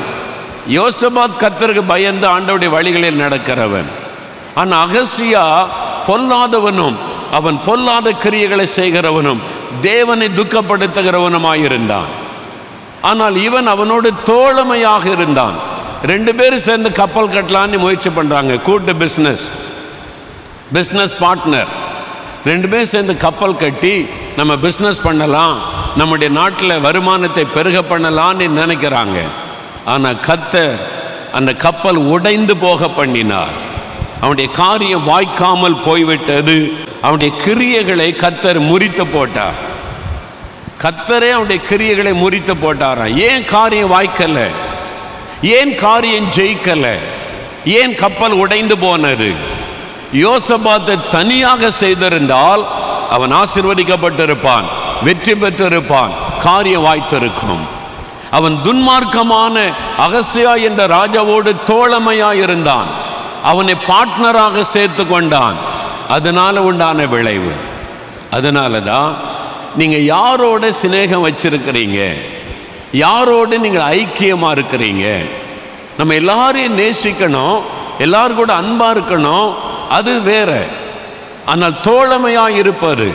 ஐக்கியமாக இருப்பார் அவர் சொல்லபடி தான் நான் செய்வேன் அவர் தான் எனக்கு ஆலோசனை கொடுப்பாரு அது யாருன்னா சாரைய வியாபாரி லஞ்சம் வாங்குற ஆள் அவர் கொலகாரன் அவர் துன்மார்க்கன் அவன்தான் உங்களுக்கு ஆலோசனைக்காரனாக இருந்து அவனோடு நீங்கள் தோழமையாக இருந்தால் காரியம் வாய்க்காது நஷ்டம் உண்டாகும் இழப்பு உண்டாகும் நீங்கள் செய்கிற காரியம் தோல்வியில் முடியும் அப்போ யாரோடு நீங்கள் தோழமையாக இருக்கிறீங்க யாரு கூட நீங்கள் ஐக்கியமாக இருக்கிறீங்க அது நீங்கள் கவனம் செலுத்த வேண்டிய முக்கியமான ஒரு காரியம் ஆண்டவர் சொல்லுகிறார் விலகு அப்படிப்பட்ட ஆட்களை விட்டு நீ விலகு அது உன் ஆசிர்வாதத்தை தடுத்து கொண்டிருக்கிறது உன் குடும்பத்தின் நன்மையை தடுத்து கொண்டிருக்கிறது ஒரு நாவிக்குரிய வாழ்க்கையை கெடுத்து கொண்டிருக்கிறது சிலர் ரட்சிக்கப்பட்டவங்க வேலை செய்கிற இடத்துல போய் ஒரு குடிகாரனோட தோழமை வச்சுருவாங்க அவன் சொல்கிறதான் கேட்பாங்க ஏ ரொம்ப ஃப்ரெண்டு என்னை ரொம்ப நேசிக்கிறான் சரி அவன் சொல்கிறது சரியாக இருக்குமா அவனுக்கு ஆண்டவருக்கு சம்மந்தம் இல்லை நீங்கள் தான் அவனுக்கு ஆலோசனை சொல்லணும் அவன் சொல்கிறத நீங்கள் கேட்டு நடந்தால் எப்படி உங்களுடைய காரியம் வாய்க்கும் நான் இவரோடு வாழ முடியாது இனிமேல் டைவர்ஸு தான் நீ கத்தருடைய பிள்ளை ஆண்டவுடைய பிள்ளை ஏன் இப்படி சொல்கிற நான் நல்லா பார்த்துட்டேன் யார் சொன்னா உனக்கு என் கூட வேலை பார்க்குறவங்க சொன்னாங்க அவங்களுக்கு இப்படி தான் இருந்துச்சான் அவங்க யார் பெரிய விசுவாசியா இல்லை குடிக்கிற பொம்பளை அவ சொல்கிற ஆலோசனை கேட்டால் குடும்பம் உருப்படுமா அவள் குடிக்கிற பெண் மதுபானம் மருந்துகிற பெண் உன் கூட வேலை பார்க்கலாம் நீ அவளை நேசிக்கலாம் அவளோட தோழமையாக இருக்க முடியாது யார் கூட நீங்கள் தோழமையாய் இருக்கிறீர்கள் யார் கூட ஐக்கியம் வைத்திருக்கிறீர்கள் யார் கூட நீங்கள் ஒன்றாய் இணைந்து நிற்கிறீர்கள் உங்களுடைய வாழ்க்கையில யார் பார்ட்னராக இருக்கிறார்கள் தவறான ஆட்கள் உங்களுடைய வாழ்க்கையிலே நுழையும் போது உங்களுடைய காரியம் தோல்வியிலே முடியும் நீங்க எந்த செய்தால் ஆசீர்வாதம் வராது யோசபாத்தை நினைத்து கொள்ளுங்கள் தேவனுக்கு பயந்து வழியில நடந்த மனிதன் தேவனால் ஆசிர்வதிக்கப்பட்டவன் அகசியா கூட தோழமை பண்ணின போது அவன் காரியம் தோல்வி அடைகிறது கப்பல் உடைந்து போகிறது காரியம் வாய்க்காமல் போய்விட்டது யார் கூட நீங்க பார்ட்னர்ஷிப் வச்சிருக்கிறீங்க அவன் ஒரு துன்மார்க்கனா இருந்தால் அவனை விட்டு விலக வேண்டும் பாவிகளுடைய வழியில் நிற்கக்கூடாது பரிகாசக்காரர் உட்காருகிற இடத்தில் உட்காரக்கூடாது துன்மார்க்கனோடு தோழமையாக இருக்க முடியாது உங்க வாழ்க்கையில் யோசித்து பாருங்க அது உங்கள் பக்கத்து வீட்டுக்காரங்களா இருக்கலாம் எதிர் வீட்டுக்காரங்களா இருக்கலாம் உங்க கூட வேலை பார்க்குறவங்களா இருக்கலாம் உங்க கூட படிக்கிறவங்களா இருக்கலாம் உங்க கிராமத்து ஆளாக இருக்கலாம் சொந்தக்காரங்களா கூட இருக்கலாம் சாத்தான் அவளை பயன்படுத்தி உங்களுடைய ஆசிர்வாதத்தை கெடுத்து கொண்டிருக்கலாம் மனைவி சொல்லுவாங்க அவன் கூட சேராதங்க அவன் சரியில்லைங்க அவன் ஒரு துன்மார்க்கன்னு கேட்டான் உனக்கு என்ன தெரியும் என் ஃப்ரெண்டு அழிஞ்சு போவீங்க மனைவி நல்ல ஆலோசனை சொன்ன கேட்க பழகுங்க அந்த ஆள் சரி கிடையாது அவன் துன்மார்க்கன் அவனால் நிறைய குடும்பம் பாதிக்கப்பட்டு இருக்கிறாரு அவன் கூட உங்களுக்கு சம்மந்தம் வேண்டான்னு சொன்ன விலகணும் எனக்கு ஃப்ரெண்ட்ஷிப் தான் முக்கியம் அப்படின்னு சொன்னால் இயேசு சொல்லுவார் போ அவங்க கூட பின்னாலே போன்னு சொல்லுவார் நாளைக்கு ஒரு ஆபத்து வரும்போது ஒன்று உங்களுக்கு வாய்க்காது தேவன் உங்களுக்கு உதவி செய்ய முடியாது மனிதர்களை பிரியப்படுத்தாருங்க தேவனுக்கு பிரியமாய் நடக்க அர்ப்பணித்துக் கொள்ளுங்கள் யாரோ ஒருவரோடு ஆண்டவர் பேசுகிறார் எனக்கு தெளிவாய் தெரிகிறது யாரோ ஒரு சகோதரியோடு ஆண்டவர் பேசுகிறார் உன் வாழ்க்கை பாழாய் போனதற்கு காரணம் தவறான தோழமை யார் கொடையோ நீ தோழியாக இருக்கிறாய் யார் கொடைய நீ தோழனாக இருக்கிறாய் யார் கொடைய நீ ஐக்கியப்படுகிறாய் அந்த ஆள் சரியில்லை அவன் ஒரு துன்மார்க்கன் நீ விலகணும் அவனை விட்டு விலகணும் நான் ரட்சிக்கப்பட்ட பிறகு நிறையா சில நண்பர்களை இழக்க வேண்டியது வந்தது அதுக்காக நான் அவங்கள வெறுக்கலை அவன்கிட்ட பேசாமல் மூஞ்சி திருப்பிட்டு போகிறதில்ல அவன் பார்க்கும்போது அன்பாக பேசுவேன் அன்பாக அவன் பழகுவேன் அவ்வளோதான் ஐக்கியம் கொள்ள முடியாது இல்லை போமாங்க வர முடியாது அன்பு வேறு ஐக்கியம் வேறு ஆனால் அப்படி நீங்கள் ஐக்கியம் வச்சு என்ன நடக்கும் தெரியுமா அவங்களுக்கு எங்கள் ஊரில் இந்த ஊர் தான் என் ஊர் நாலு மாவடி எங்களுடைய பண்ணை வீடு இருக்கிறது தெற்கு கடைசி நாலு மாவடியின்றி தெற்கு கடைசி கடைசியில் தான் எங்கள் வீடு எங்கள் வீட்டில் தாண்டுனா வயல்வெளி அப்புறம் காடு அங்கே தான் நான் ஜோம் பண்ண போவேன் எங்கள் வீட்டு பெரிய காம்பவுண்டு நாலு அஞ்சு மாமரம் இருக்கும் பெரிய மாமரம் இந்த பெரிய கேம்பஸே வந்து மரத்து நிழலில் தான் எங்கள் வீடே இருந்துரு பெரிய மாமரங்கள் நிறைய நிழல் இருக்கும் நான் சின்ன பையன் நான் ஸ்கூலில் படிக்கிற காலத்தில் இளம் வாலிபன் நான் ஸ்கூலில் படித்து கொண்டிருக்கிற காலத்தில் எங்கள் வீடு காம்பவுண்டுக்குள்ளே எங்கள் ஊரில் இருக்கிற வாலிபர்கள் சிறுபிள்ளை எல்லாம் விளையாட வருவாங்க நிறைய விளையாட்டில் ஒன்று விளையாடுறது சீட்டு விளையாடுறது சீட்டு விளையாடி பார்த்துருக்கீங்களா சீட்டு விளையாடுறது மணிக்கணக்காக உட்காந்து விளையாடுவோம் நாங்கள் ஃப்ரெண்ட்ஸ் எல்லாம் உட்காந்து விளையாட ஆரம்பித்தா ரெண்டு மூணு டீம் விளையாடுவாங்க எங்கள் இந்த கேம்பஸுக்குள்ளே நல்ல நிழல் இருக்கிறனால ரெண்டு மூணு டீம் உட்காந்து பெரியவங்க ஒரு பக்கம் வாலிபர்கள் ஒரு பக்கம் உட்காந்து விளையாடுறது ஏஜ் குரூப்பில் நாங்கள் உட்காந்து விளையாடுனா காலையிலேருந்து ராத்திரி வரைக்கும் சாப்பிட கூட்ட கூட போக மாட்டோம் அது அடி அடிமையாக்கிறோம் அந்த பழக்கம் மனிதனை அடிமையாக்கி விடும் பசி தெரியாது தாகம் தெரியாது உட்காந்து விளையாடிக்கிட்டே இருக்கிறாரு மணிக்கணக்காக விளையாடுறது அந்த மாதிரி சீட்டு விளையாட்டில் எனக்கு ரொம்ப பழக்கம் இன்ட்ரெஸ்ட்டு அந்த காலத்தில் ரட்சிக்கப்பட்ட இப்போ ஆண்டவர் ரட்சித்துட்டார் சென்னையிலேருந்து ரட்சிக்கப்பட்டு வருஷத்தில் ஒரு முறை ஒரு மாதம் வருவேன் எங்கள் ஊருக்கு ஒரு மாதம் ஊர்லலாம் இருந்துட்டு அப்புறம் போகிறது உண்டு அப்படி வரும்போது எங்கள் வீட்டில் அவங்கெல்லாம் சீட்டு விளையாடுவாங்க இப்போ நான் ரட்சிக்கப்பட்டாச்சு இப்போ சீட்டை தொடுவதில்லை ஆண்டவர் ரட்சித்துட்டார் அலையலுயா அதில் விளையாடுவதில்லை அவங்களாம் விளையாடுவாங்க என் பாட்டில் வீட்டுக்கு வருவேன் நான் ஜோமண்ண தோட்டத்துக்கு போவேன் பைபிளை தூக்கிட்டு சர்ச்சுக்கு போவேன் மீட்டிங் போவேன் வருவேன் அவங்களாம் பார்ப்பாங்க தூரத்துலேருந்து ஹலோ சொல்லுவேன் அவ்வளோதான் ஒரு நாளும் கூப்பிட்டாங்க என்னப்பா என்கிட்ட பேசவே மாட்டேங்கிற உன்கிட்ட பேசவே முடியல இருக்கிறதே கொஞ்ச நாள் தான் வா கொஞ்ச நேரம் எங்கள் கூட உட்காந்து பேசேன்னு நான் வரல எங்களுக்கு தெரியும் நீ சீட்டு விளையாட மாட்டேன்னு சொல்லி ஏசு ஏதோ ஒன்று மாற்றி விட்டாராமே சீட்டெல்லாம் விளையாட மாட்டேன்னு தெரியும் சும்மா உட்காந்து பேசிக்கிட்டு உன்னை விளையாடைய கூப்பிட்றோம் சும்மா உட்காந்து பேசு நம்மெல்லாம் ஃப்ரெண்ட்ஸாக இருந்தோம் என்ன இந்த மாதிரி போயிட்ட அப்படின்னு சொன்ன உடனே சரி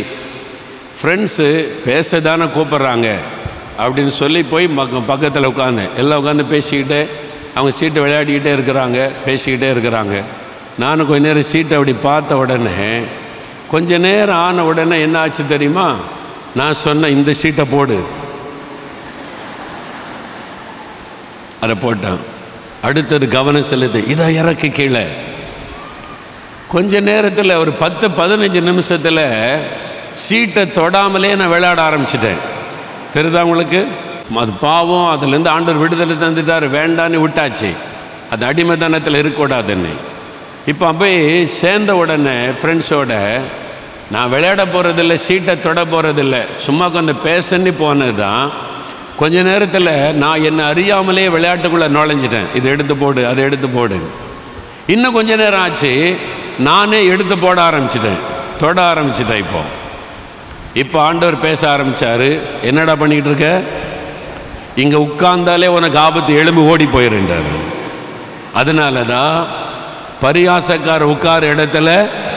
உட்காராத அவங்களோட உட்காராத ஆண்டவர் உடனே எழும்பி போன்னு சொல்லிடுறார் நீ உட்கார்ந்தேன்னா இன்னும் கொஞ்ச நேரத்தில் நீ சீட்டு விளையாட ஆரம்பிச்சிருவேன் எதை விட்டு வந்தியோ அதை செய்ய ஆரம்பிச்சிருவேன் நீ விலகு நான் உடனே சொல்கிறேன் நான் போயிட்டு வரேன்னு போயிட்டு வரேன் அதுக்கப்புறம் அவங்க கூட இப்போ உட்காருவதில்லை அதுக்காக பேசாமல் இருக்கிறல மற்ற நேரம் நல்லா பேசுவோம் ஒன்றா பேசுவோம் சந்திப்போம் ஒன்றா நாங்கள் அன்பாக தான் இருக்கிறோம் அவங்கள வெறுக்கலை ரெண்டுக்கு உள்ள வித்தியாசத்தை விளங்கி கொள்ளணும் ஆண்டோடைய வசனம் சொல்லுகிறாரு விலகு யாரோ ஒருத்தரை விட்டு நீ விலகணும் ஆண்டவர் பேசுகிறார் யாரோ ஒருவர் உன் செல்போன் மூலமாக உன்னை தப்பாக கைட் பண்ணி கொண்டு இருக்கிறாங்க யாரோ ஒருத்தர் செல்போன்ல பேசுனா உன் சுபாவம் மாறுது உன் குணம் மாறுது உங்க வீட்டுக்குள்ள ஒன்னால பிரச்சனை வருது யாரோ செல்போன்ல பேசும்போது நீ பாதிக்கப்படுகிறாய் அந்த ஆவி உன்னை தாக்குகிறது அவங்களுக்குள்ள இருக்கிற ஆவி உன்னை பாதிக்கிறது ஆண்டவர் சொல்லுகிறார் விலகு அப்படிப்பட்டவளை விட்டு நீ விலகு அப்படிப்பட்டவளோடு உள்ள தொடர்பை துண்டித்துக்கொள் அப்பதான் உன் காரியம் வாய்க்கும் அவங்க தவறான ஆலோசனை கொடுக்கிறார்கள்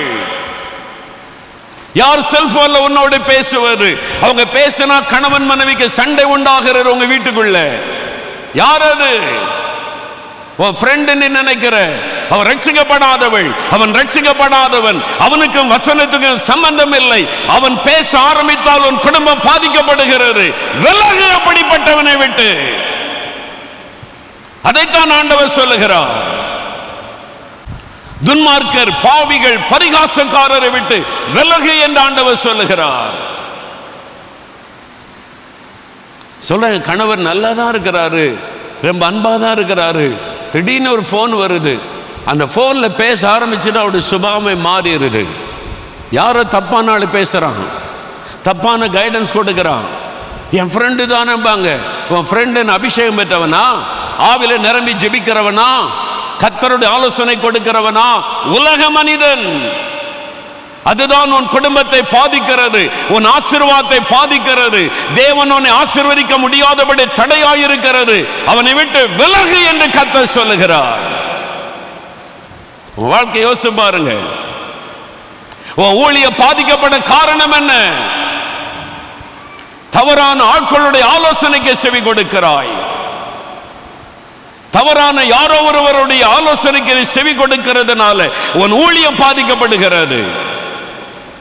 காரியம் வாய்க்கவில்லை யோசித்துப்பார் இன்னைக்கு ஆவியானவர் பேசி கொண்டு நீங்க சொல்லுங்க ஆண்டவர் இப்படிப்பட்ட ஆள் எங்க வீட்டுக்குள்ள வரக்கூடாதுன்னு சொல்லுங்க சில ஆள் உங்க வீட்டுக்குள்ள வந்து அவங்களுடைய குடும்ப சமாதானமே பாதிச்சிடும் ஒரு விதையை தான் போடுவாங்க ஒரு விதையை போட்டு குடும்பத்தை கெடுத்துட்டு போயிடுவாங்க அவங்களோட உங்களுக்கு ஐக்கியம் தேவையா ஆண்டவர் சொல்லுகிறார் விலக வேண்டிய காரியத்தை விலகணும் அப்பதான் கத்தர் காரியத்தை வாய்க்க பண்ணுவார் தவறான ஆட்களோட ஐக்கியம் வைக்காதங்க அன்பாருங்க தூரத்தில் இருங்க நேசிங்க ஜெபம் பண்ணுங்க அவங்களும் ரட்சிக்கப்படணும்னு விரும்புங்க இயேசுவை பற்றி பேசுங்க அவங்க சொல்றதுக்கு நீங்க செவி கொடுக்காதங்க முக்கியமாக வாலிப தம்பிமார் வாலிப பிள்ளைகள் நீங்கள் பழகிற இடத்துல படிக்கிற இடத்துல விளையாடுற இடத்துல யார் கூட ஃப்ரெண்ட்ஷிப் வச்சுருக்கிறீங்க அதுக்காக யார் கூடயும் சேரவே கூடாதுன்னு நான் சொல்லலை பைபிள் அப்படி சொல்லவில்லை அவங்க எந்த மதத்தை சார்ந்திருந்தாலும் அவங்கள நேசிங்க அவங்கள்ட்ட அன்பாருங்க தப்பு கிடையாது ஆனால் தோழமையாக இருக்கும்போது அவங்க கொடுக்குற ஆலோசனை எப்படிப்பட்டது கவனம் ஆண்டு சொல்ல சிலரை விட்டு விலகணும் ரெண்டாவது ஒரு காரியம் ஆண்டு சொல்லுகிறார் முதலாவது நீங்கள் விலகணும் ரெண்டாவது ஒரு காரியம் ஆண்டு சொல்கிறார் பாருங்க ரெண்டாவது வசன வாசிங்க கர்த்தருடைய வேதத்தில் பிரியமாயிருந்து இரவும் பகலும் அவருடைய வேதத்தில் தியானமாக இருக்கிற மனுஷன் பாக்கியவான் முதலாவது சிலரை விட்டு விலகணும் துன்மார்க்கர் பாவிகள் பரியாசக்காரர் நம்ம வெளிக்குளம் வர விடக்கூடாது விலகணும் ரெண்டாவது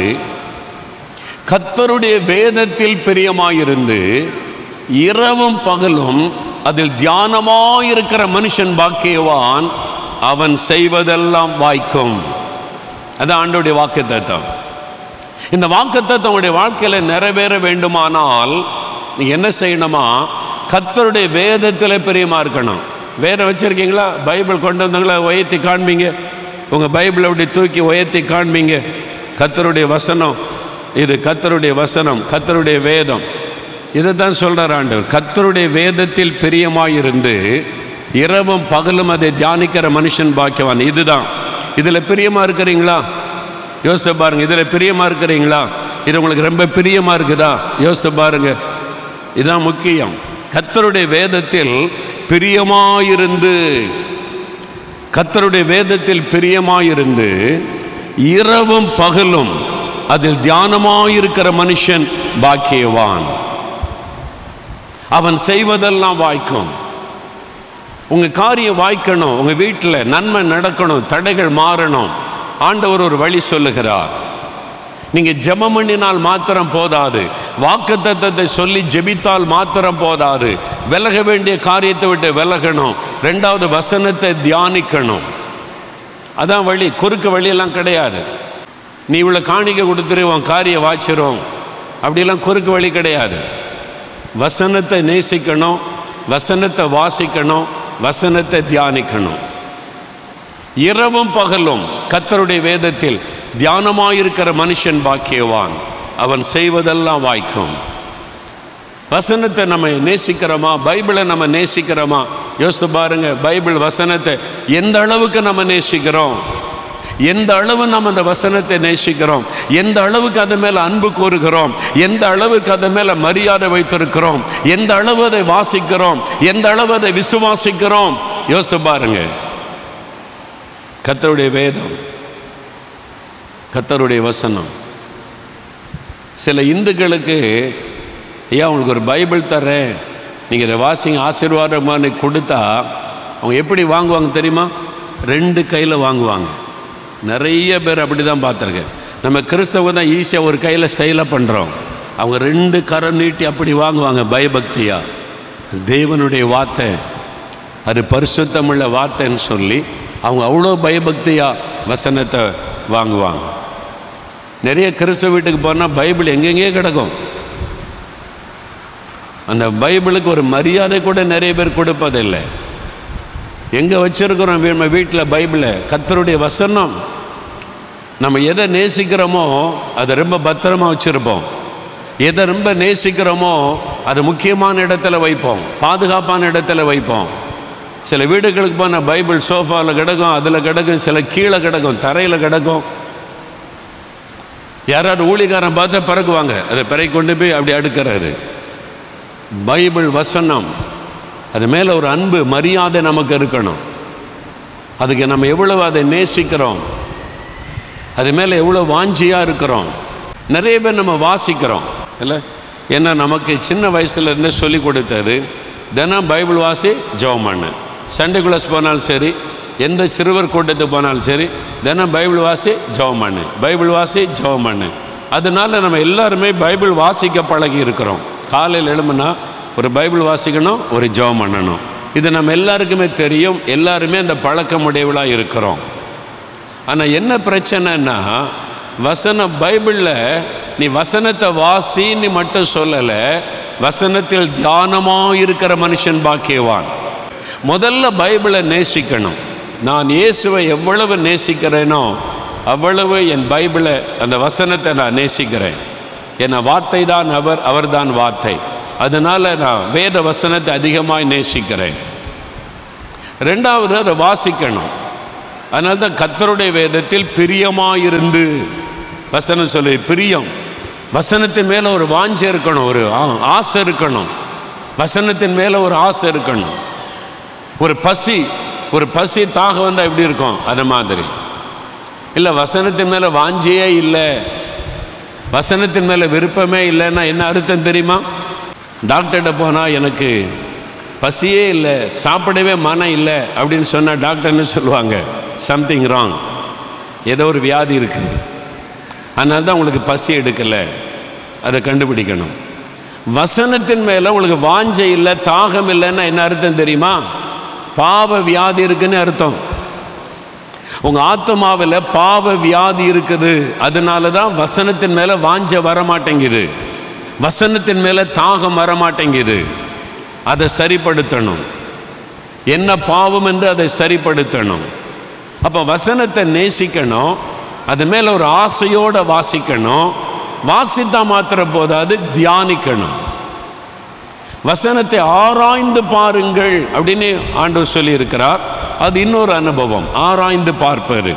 ஓ பைபிள் எப்படிலாம் இருக்குதா ஆராய்ந்து பார்ப்பார்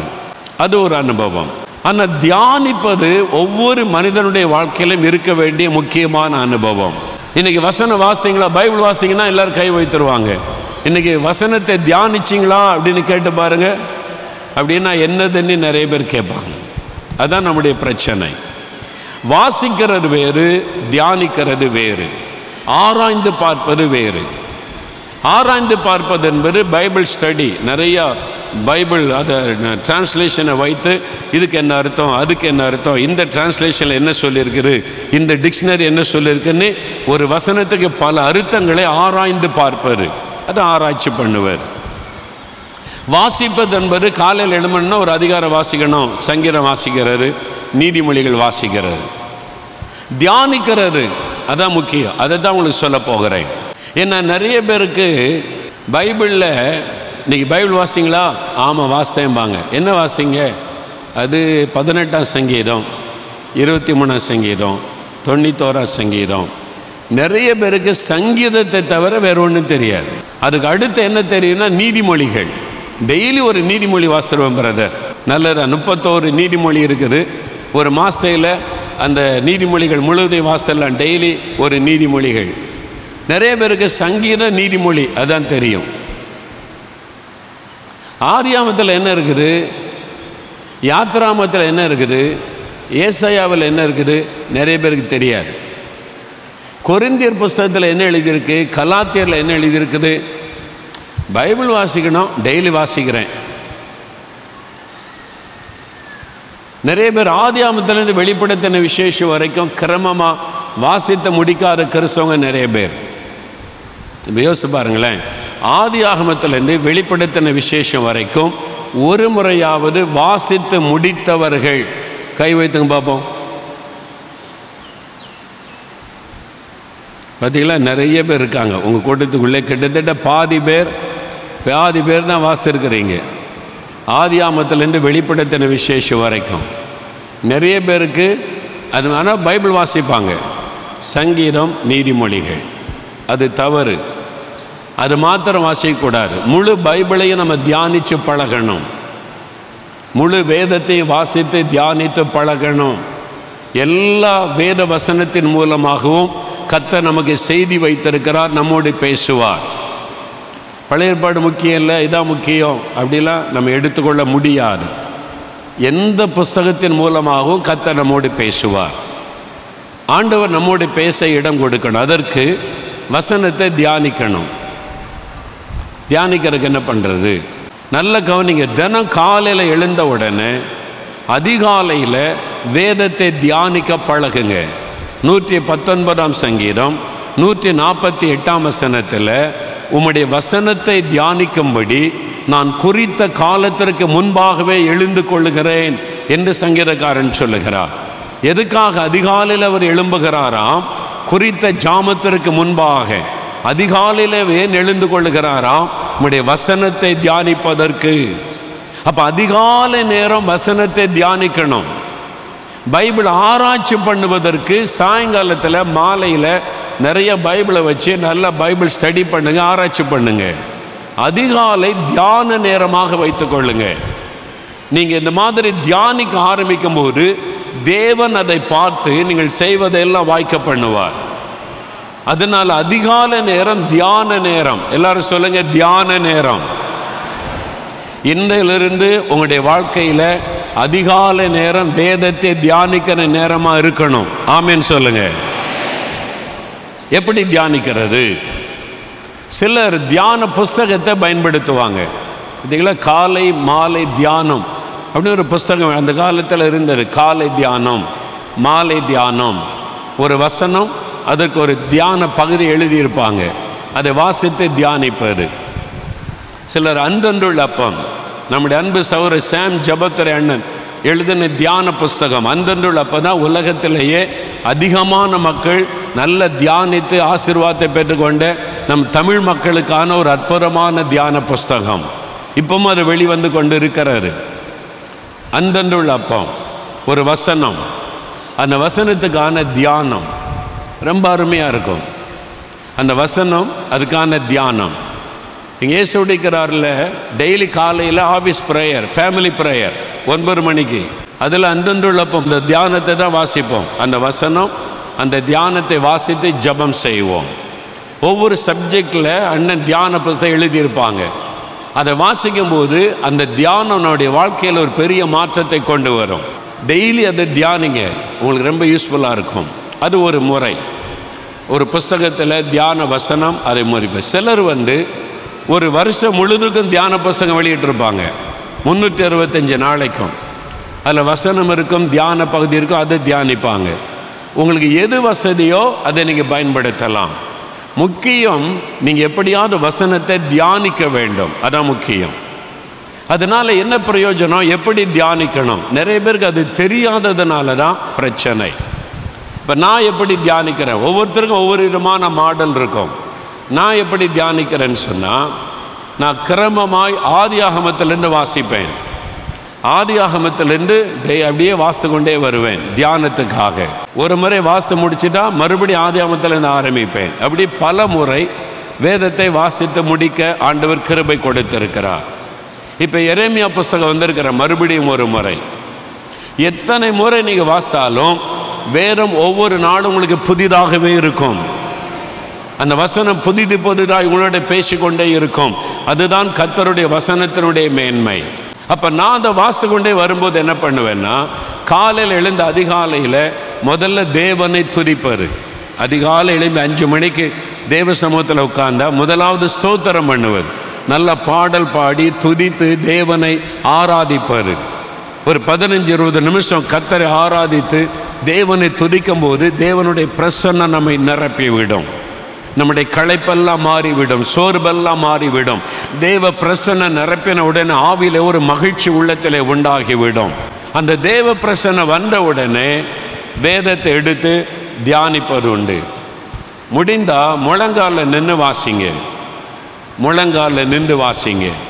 வயதானவங்க முடியாதவங்க பரவாயில்லை நான் இன்றைக்கு முழங்காலில் நின்று வாசத்தை தியானிக்க முயற்சிக்கிறேன் சில நாள் முடியாத போது தான் உட்காந்து வாசிப்பேன் மற்றபடி முழங்காலில் நின்று வாசிப்பார் ஜார்ஜ் முல்லர் என்ற ஒரு தேவ மனிதர் இங்கிலாந்தில் இருந்தார் ஆண்டவருக்காக சாதித்தவர் விசுவாச வீரன் என்று அழைக்கப்பட்டவர் எப்படி அவரால் விசுவாசத்தில் இவ்வளோ சாதிக்க முடிந்தது என்றால்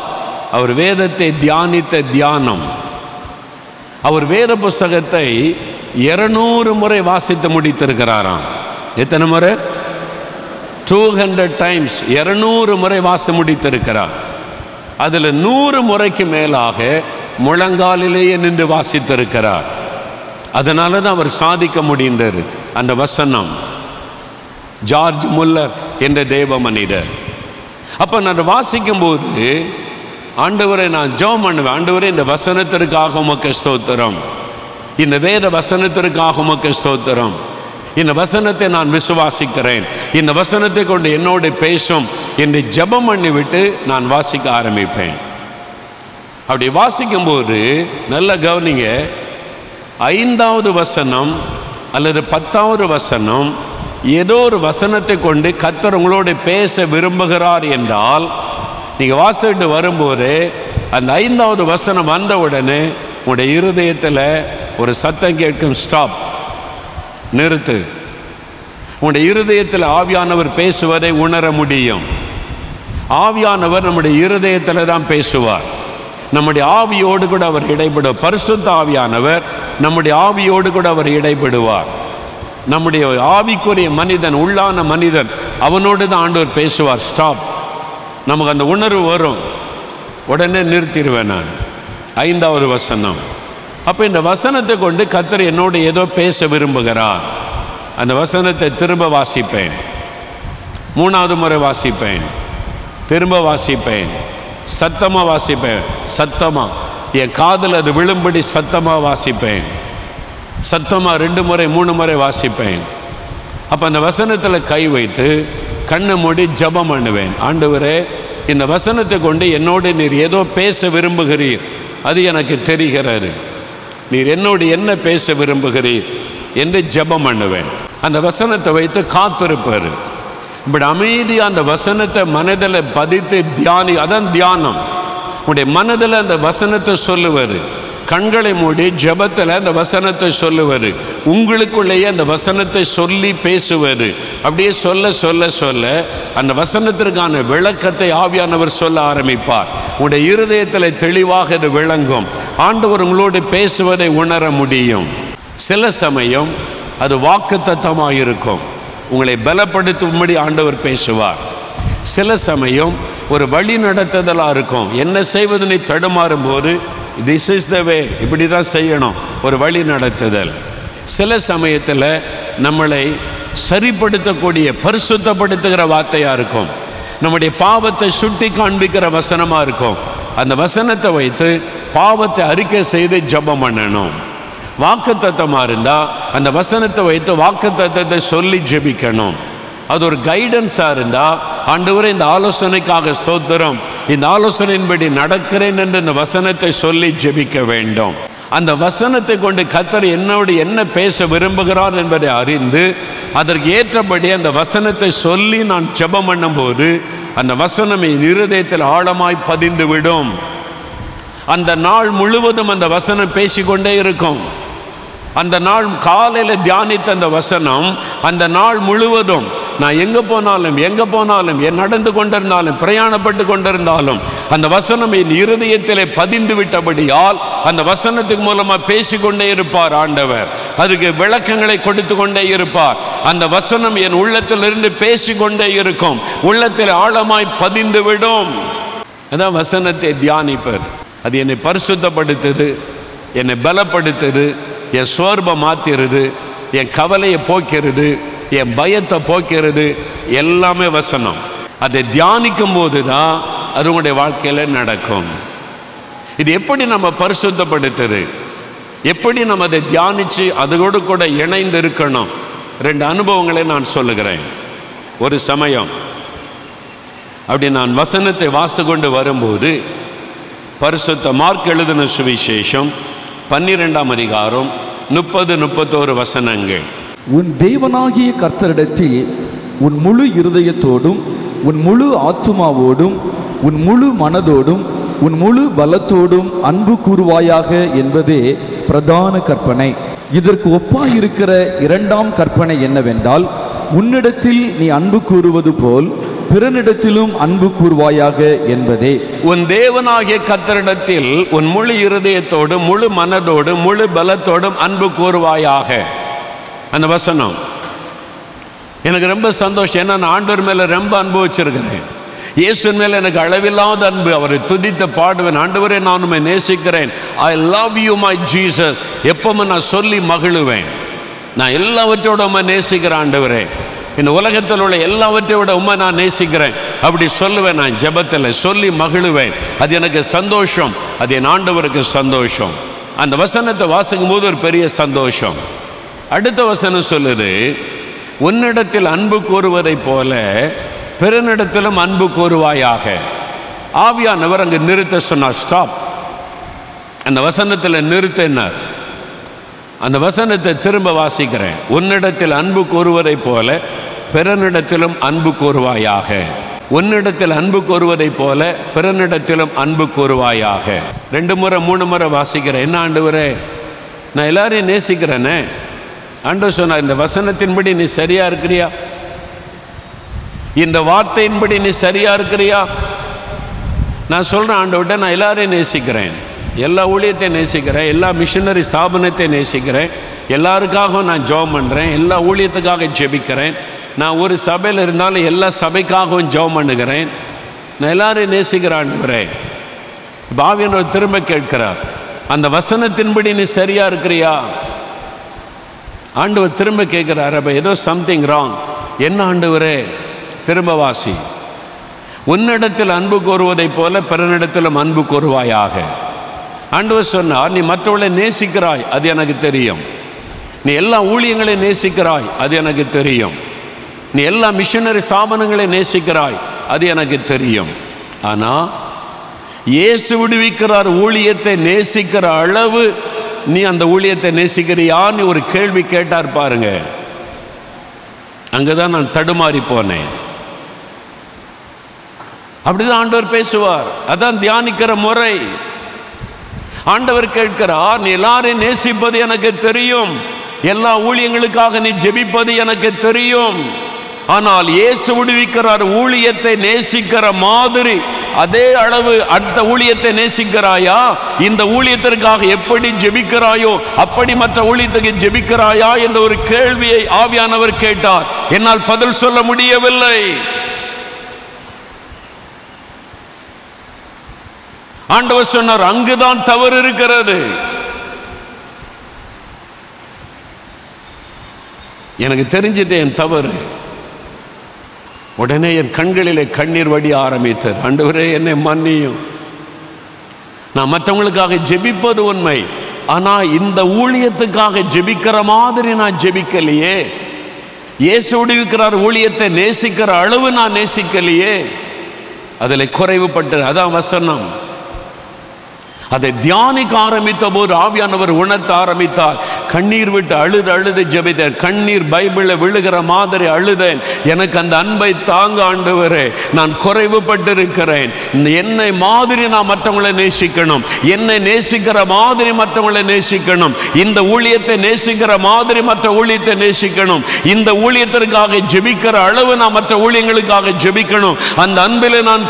பட்டிருக்கிறேன் அந்த அன்பை எனக்கு தாரும் அழுதை ஜபம் பண்ணினேன் என் வாழ்க்கையை மாற்றினர் அந்த வசனம் என்னை பரிசுத்தப்படுத்தினர்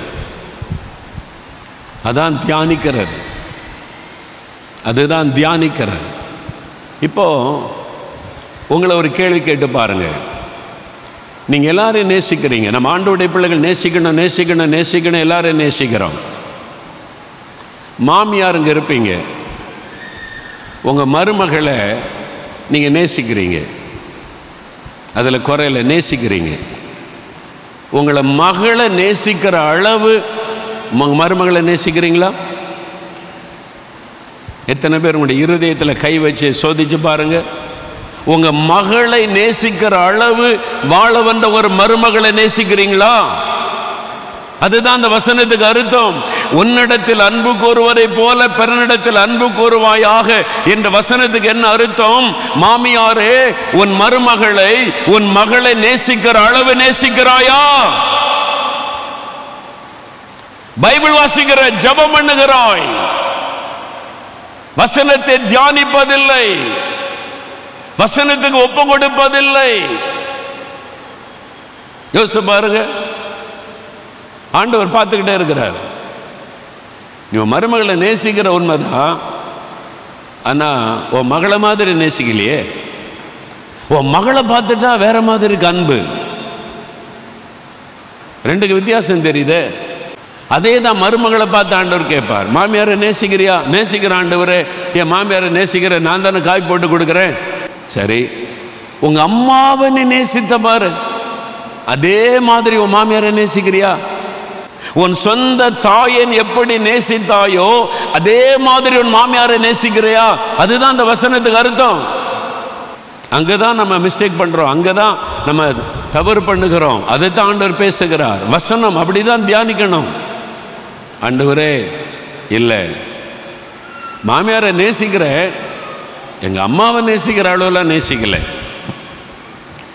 இவங்க சின்னது சொன்னா கூட கோபமா வருது இந்த கிழவி எதுக்கு இருக்குது சீக்கிரம் செத்து தொலைட்டுன்னு மனசில் தோணுது அம்மாவை பற்றி எப்படி தோணுமா தோணாது வித்தியாசம் புருஷர்களே உங்களுடைய மனைவியிடத்தில் அன்பு கூறுங்கள் அவளை கசந்து விடாதுன்னு வசனம் சொல்லுது அதன்படி நம்ம இருக்கிறோமா வசனத்தை தியானிச்சாதான் தெரியும் என் மனைவியை நான் நேசிக்கிறேன்னா கசந்து கொள்கிறேன்னா கசப்பை உள்ளத்தில் வச்சுருக்கிறேன்னா யோசித்து பாருங்கள் மனைவிகளே உங்களுடைய சொந்த புருஷருக்கு கீழ்ப்படிங்க கீழ்ப்படுகிறேன்னா கத்தருக்கு கீழ்ப்படுகிறது போல அது எப்படி கீழ்ப்படின்னு ஆண்டவர் எழுதி வச்சிருக்கிறார் கத்தருக்கு கீழ்ப்படுகிறதை போல சொந்த புருஷருக்கு கீழ்ப்படிங்க ஆண்டவர்கிட்ட திருப்பி கேள்வி கேட்பீங்களா உடனே கீழ்ப்படிதல் அந்த மாதிரி உங்களுடைய புருஷனுக்கு கீழ்ப்படுகிறீங்களா இல்லையே அப்போ வசனத்தை வாசிக்கிறோம் வசனத்தின்படி நம்முடைய வாழ்க்கை இல்லை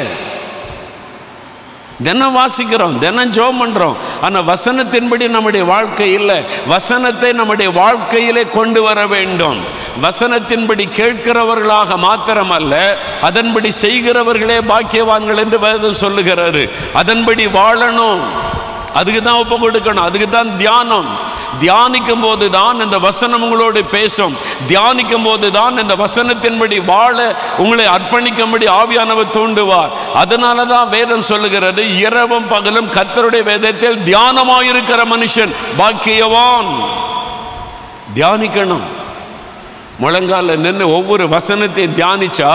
உங்களுடைய கேரக்டர் மாறும் உங்களுடைய சுபாவங்கள் மாறும் ஆவியானவர் மாற்றுவார் வசனம் உங்களை மாற்றும்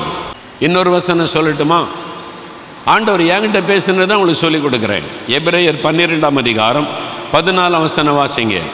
எபிரேயர் பன்னிரெண்டு பதினாலு வாசிங்க யாவரோடும் சமாதானமாக இருக்கவும் பரிசுத்தம் உள்ளவர்களாக இருக்கவும் நாடுங்கள் பரிசுத்தம் இல்லாமல் ஒருவனும் கர்த்தரை தரிசிப்பதில்லையே யாவரோடும் சமாதானமாக இருக்கவும் பரிசுத்தம் உள்ளவர்களாக இருக்க நாடுங்கள் பரிசுத்தம் இல்லாமல் ஒருவனும் தேவனை தரிசிப்பதில்லையே அப்போ தேவனை தரிசிக்கணுமானா பரிசுத்தம் இருக்கணும் தேவனை நம்ம தரிசிக்கணும்னா பரிசுத்தம் இருக்கணும் மற்ற ஐந்து எட்டில் வாசிக்கிறோம் இருதயத்தில் சுத்தமுள்ளவர்கள் பாக்கிய வாங்கள் அவர்கள் தேவனை தரிசிப்பார்கள் அப்போ நம்மளை பரிசுத்தப்படுத்த ஒப்பு கொடுப்பாரு என் இருதயம் பரிசுத்தமாக இருந்தால் தான் நான் தேவனை தரிசிக்க முடியும் நம்மை பரிசுத்தத்துக்கு ஒப்பு கொடுப்பது இது ஒன்று ஆனா எபிரேயர் பன்னிரெண்டு பதினாலு என்ன சொல்லியிருக்கிறாரு நீ பரிசுத்தமாக இருந்தால் மாத்திரம் போதாது யாவரோடு நீ சமாதானமாக இருக்கணும் you must have peace with all people எல்லோரோடு நீ சமாதானமாக இருந்தாதான் தேவனை தரிசிக்க முடியும்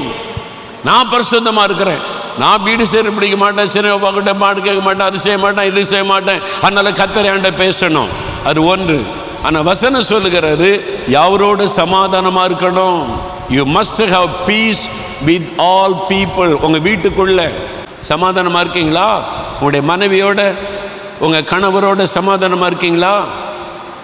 கணவனோட பேசாமலேயே குடும்பம் நடத்திக்கிட்டு இருக்க பெண்கள் எத்தனை பேருங்க ஒரே வீட்டில் இருக்கிறீங்க பேசுறதில்ல ஆனால் குடும்பம் நடத்துகிறீங்க ஜபம் பண்ணுறீங்க எத்தனை ஆண்கள் மனைவி கிட்ட பேசுறதில்லை ஏதோ ஒரு நாள் சண்டை வருது பிரச்சனை வருது ரெண்டு நாள் பேசாமல் இருக்கிறாங்க சரியா இது ஃபேமிலியில் வரக்கூடியது வருஷ வருஷக்கணக்காக மனைவி கிட்ட பேசாமலே இருந்து கொண்டு பைபிள் வாசி ஜோம் பண்ணி ஊழி செய்து கொண்டிருக்கிற ஆட்கள் எத்தனை பேர்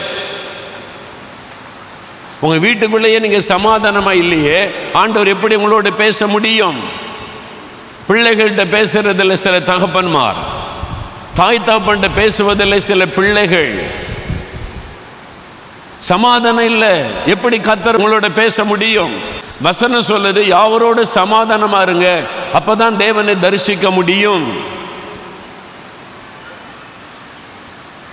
உங்க வீட்டில் எல்லாரும் கூட சமாதானமா இருக்கீங்களா யாரோ ஒருத்தர்கிட்ட பேசுறதே இல்லை இல்லை சமாதானமாகுங்க ஒப்புரவாகுங்கள் என்று வேதம் சொல்லுகிறார் ஒப்புரவாகுங்கள் அதை சரிப்படுத்துங்க அதுக்கு முயற்சி பண்ணுங்க அதுக்காக ஜெபம் பண்ணுங்க அதெல்லாம் சரிப்படுத்தாவிட்டால் நீ ஆண்டவரை தரிசிக்க முடியாது காரியம் வாய்க்காது நான் சொல்கிறேன் வச காரியம் வாய்க்காது நீங்கள் என்னதான் உபவாசம் பண்ணி ஜெபிச்சாலும் எல்லாம் தோல்வி ஏமாற்றம் தான் இருக்கும் காரியம் வாய்க்காது அப்போ என்ன செய்யணும் வசனத்தின்படி வாழ்வதற்கு ஒப்பு கொடுக்கணும் யாவரோடு சமாதானமாக இருங்க யாரு கூட சண்டை போட்டு மூஞ்சி திருப்பிக்கிட்டு இருக்காதுங்க பக்கத்து வீட்டில் சண்டை ஏற்ற வீட்டில் சண்டை சரி ஒப்பரவாகி சமாதானம் ஆயிட்டா அவங்க திரும்ப திரும்ப பிரச்சனை வருமே அதனால் சண்டை போட்டு தூரமாக இருந்தால் பரவாயில்ல சிலருக்கு நான் அந்த வசனத்தை தியானிக்கும் போது ஆண்டவர் என்னோட பேசினா அப்போ ஆண்டவர் எல்லாரும் கூட நான் சமாதானமாக இருக்கணும் எல்லாரும் கூட சமாதானமாக இருக்கணும் யாருக்கூடிய கசப்பு வெறுப்பெல்லாம் வேண்டாம் யார் மேலே கசப்பு இருக்குதா அதை அறிக்கை செய்து ஜோம் பண்ணிடுவோம் ஆண்டவர் இவங்க மேலே எனக்கு ஒரு வருத்தம் இருக்குது கசப்பு இருக்குது மன்னிச்சிருங்க நானும் மன்னிச்சிடுறேன் அந்த கசப்பை எடுத்து போட்டுருங்க சரி அப்போ சமாதானம் இருக்குன்னா போய் பேசணும்ல அப்படின்னு கேட்டால் வேத வசனத்தை நல்லா புரிந்து கொள்ளுங்க இதில் யாவரோடு சமாதானமாக இருக்குன்னு சொல்லியிருக்கிறது உங்கள் வீட்டுக்குள்ளே ஒரு பிரச்சனைனா வீட்டில் எல்லோரும் சமாதானமாக இருக்கணும் வெளியில் ஒரு பிரச்சனைனா நீங்கள் மன்னித்து அன்பாக இருக்கலாம் சமாதானமாக இருக்கிறன்னு ஐக்கியமாக இருக்கிறாரு சிலரோடு ஐக்கியமாக இருக்க முடியாது மன்னிச்சிடணும் மறந்துடணும் ஆனால் ஐக்கியமாக இருக்க முடியாது அப்படி பைபிள் இருக்கா நான் இதை தியானிக்கும் போது யோசித்து பார்த்த ஆண்டு வரை சில ஆள் கூட ஐக்கியமானால் திரும்ப திரும்ப எனக்கு பிரச்சனை தானே இல்லை சில ஆளோட நீங்கள் அன்பாக இருந்து ஐக்கியமானீங்கன்னா அதே ஆளால் உங்களுக்கு பிரச்சனை வந்துக்கிட்டே இருக்கும் வீட்டுக்குள்ளே அப்போ என்ன பண்ணுறது அதுக்கிட்ட ஆண்டவர் இன்னொரு வசனத்தை காண்பிக்கிறார் ஆவியானவர் நீங்கள் தியானிக்கும் போது பல காரியத்தின் மூலம் பேசுவார் ஒரே வசனத்தில் நிற்காதபடி அதுக்கான உண்மையான அறுத்தத்தை விளங்க பண்ணுவார் இப்போ ஆண்டவர் இந்த வசனத்தை தியானிக்கும் போது இன்னொரு வசனத்தை காண்பித்தார் என்னென்னா ரோமர் பன்னிரெண்டாம் அதிகாரம் பதினெட்டாம் வசனம் ரோமர் பன்னிரெண்டு பதினெட்டு வாசிங்க கூடுமானால் உங்களால் ஆன மட்டும் எல்லா மனுஷரோடும் சமாதானமாயிருங்கள் கூடுமானால் உங்களுக்கு முடியுமானால் எல்லா மனுஷரோடு சமாதானமாயிருங்க அங்கே யாவரோடு சமாதானமாக இருங்கள் என்று எழுதி வைத்த ஆவியானவர் ரோமர் பன்னிரெண்டு பதினெட்டில் கூடுமானால் கூடுமான வரைக்கும் யாவரோடு சமாதானமாக இருங்க யாவரோடு அன்பாருங்க அப்படின்னு ஆண்டு சொல்கிறார் நல்ல வித்தியாசத்தை விளங்கி கொள்ளுங்கள் நிறைய பேருக்கு அதில் தான் குழப்பங்கள் பிரச்சனை நீங்கள் எல்லாரையும் மன்னிக்க முடியும் மன்னிச்சிடுங்க எல்லாரையும் நேசிக்க முடியும் எல்லாரையும் நேசிங்க சத்துருக்களை கூட நேசிக்க சொன்னார் நேசிங்க எல்லோரோட அன் ஐக்கியமாக இருக்கணுமானா சமாதானமான ஐக்கியமாக இருப்பார் ஃபெல்லோஷிப்பாக இருக்கணுமானா முயற்சி பண்ணுங்க எல்லாரோட ஐக்கியமாக இருக்க கூடுமானால் ஏன்னா சில ஆளோட ஐக்கியமாக இருக்க முடியாது சில ஆட்களோட ஐக்கியமாக இருந்தால் உங்களுக்கு ஆபத்து புரியுதா அவங்களுக்கு அதனால் மன்னிச்சிருங்க மறந்துருங்க ஐக்கியம் வச்சு கொள்ளாருங்க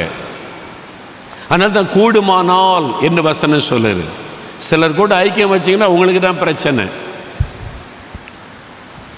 நான் ஊழிய பாதையில் நாற்பத்தி ரெண்டு நாற்பத்தோரு வருஷம் கடந்து வந்துட்டேன் சில பல வருஷங்களில் பல அனுபவங்கள் பலர் மூலமாக ஒருத்தர் ஊழியத்தில் இருந்துக்கிட்டு என்னை பற்றி குறையாக பேசி தப்பு தப்பாக பேசி பல இடத்துல பேசி அவங்க ஏன்ட்டு வந்து சொல்கிறாங்க உங்கள் கூட தான் இருந்தார் உங்களை பற்றி இப்படியெல்லாம் பேசுகிறாரு பிரதர் இது மாதிரி பயங்கரமாகலாம் பேசுகிறாரு உங்களை பற்றி அதுக்காகவே வீடு வீடாக போய் பேசுகிறாரு பரவாயில்ல கத்தர் அவர் ஆசீர்வதி கேட்டோம் என்னை விட்டு போயிட்டார் என்னை பற்றி எல்லா இடமும் பேசிட்டார் இப்போது இதை கேள்விப்பட்ட உடனே உள்ளத்தில் என்ன வரும் வருத்தம் வரும் அவர் மேலே அது உள்ளத்துல அப்படி வருத்தத்தை வளர்த்துக்கிட்டே இருந்தால் என்ன வரும் கசப்பு வரும் வெறுப்பு வரும் அவரை பார்த்தா ஒரு கோபம் வரும் அதுக்கு தான் இடம் கொடுக்கக்கூடாது நான் உடனே தேவ சமூகத்தில் போய் ஆண்டவரே என்னை பற்றி அப்படி பேசின அவர்களை நான் மனப்பூர்வமாக மன்னிக்கிறேன் அந்த மன்னிக்கிற இருதயத்தை எனக்கு தாங்க நான் மன்னிச்சிட்ற ஆண்டவர் அவங்க மேலே வருத்தம் எனக்கு வரக்கூடாது கோபம் எனக்கு வரக்கூடாது அந்த கசப்பு என் உள்ளத்தில் வரக்கூடாது நான் மன்னிச்சிட்றேன் ஒரு ஜவுமணியாச்சு இப்போ அவங்கள பார்க்கும்போது அவங்கள பார்க்கும்போது எனக்கு மனசில் ஒன்றும் இல்லை நான் தோத்தர சொல்கிறேன் அன்பாக பேசிக்கொள்கிறேன் அவங்கள பார்க்கும்போது நல்லா இருக்கீங்களா எப்படிலாம் ஊழியம் இருக்குது அப்படிலாம் பேசிக்கொள்கிறேன் இப்போ ஊழியம் வளர்ந்துட்டு ஏசுடிக்கிறார் ஊழியம் அவங்க நினச்ச மாதிரி இல்லை அவங்க நினச்சது ஊழியம் போயிடும் அப்படி இப்படின்னு நினச்சது இப்போ ஊழியம் வளர்ந்துட்டு சில வருஷம் கடந்து விட்டது இப்போ அவங்க என்னென்னா நம்ம ஊழியத்தோடு வந்து சேர விரும்புகிறாங்க சேர விரும்புகிறாங்க மறுபடியும் வந்து சேர என் ஊழியத்தோட இணைய விரும்புகிறாங்க அதை சொல்லிலாம் அனுப்புகிறாங்க வேறு ஆள் மூலமாக நான் உங்களை நேசிக்கிறேன் மன்னிச்சிட்டேன் இப்போ ஆண்டவர்கிட்ட போகிற ஆண்டவர் சொன்னார் நீ அவங்கள மன்னிச்சிட்ட அவங்கள நேசிக்கிற அதோடு நிறுத்திக்கொள் உள்ளே சேர்க்காதுன்ட்டார் விளங்குதா அவங்களுக்கு அவர் ஊழியத்தை அவர் செய்யட்டும் உள்ளே சேர்க்காத சேர்த்தா மறுபடியும் உனக்கு பிரச்சனை உண்டாக்குவார் அதனால் தூரமாக வச்சுக்க அதனால் சில சொந்தக்காரங்களை மன்னிச்சிருங்க பேசிக்கொள்ளுங்க வீட்டுக்குள்ளே விடாதுங்க சில ஆட்களை எல்லாரையும் அல்ல அவங்க வந்தால் பிரச்சனை உண்டாக்கிடுவாங்க உங்களுக்கு தெரியும் அதனால தான் வேதம் சொல்லுகிறது கூடுமானால் யாவரோட சமாதானமாக இருங்கன்னா என்ன அர்த்தம் சில ஆட்களை சமாதானமாக சேர்த்துக்கொள்ளக்கூடாது வீட்டுக்குள்ளே அவங்கள மன்னிச்சிருங்க நேசிங்க ஐக்கியப்படாதங்க இப்படிலாங்க பைபிளில் இருக்காங்க அப்படின்னு கேட்டால்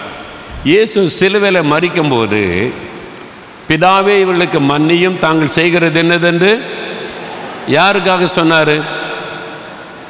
யாரை பார்த்து சொன்னார் மன்னிப்புக்கும்படி யாருக்காக மன்னிப்பு கேட்டார் அந்த போர் வீரர்கள் அவரை சிலுவையில் அரைஞ்சவங்க அவரை பரிகாசம் பண்ண வேரபாரகர் பரிசேயர் பிரதான ஆசிரியர் அவங்களுக்காக மன்னிப்பு கேட்குறார் இப்போ இயேசு உயிர்த்தெழுந்த உடனே அவங்கள தேடி போனாரா போர் சேவகரை தேடி இயேசு போனாரா வேறு பாருங்கள் பரிசேரை தேடி போனால் நான் மன்னிச்சிட்டேன் நான் பாருங்கள் உயிரோடு எழுந்துட்டு நான் அவளை தேடி போனாரா போகலை யாரை தேடி போனார் சீசர்களை தான் தேடி போனார் அலிலுயா சிலரை நீங்கள் மன்னிச்சிடணும் மறந்துடணும் அவங்களோட ஐக்கியம் இல்லாமல் கொஞ்சம் விலகி இருந்தால் நல்லது வேதம் தெளிவாய் பேசுகிறார்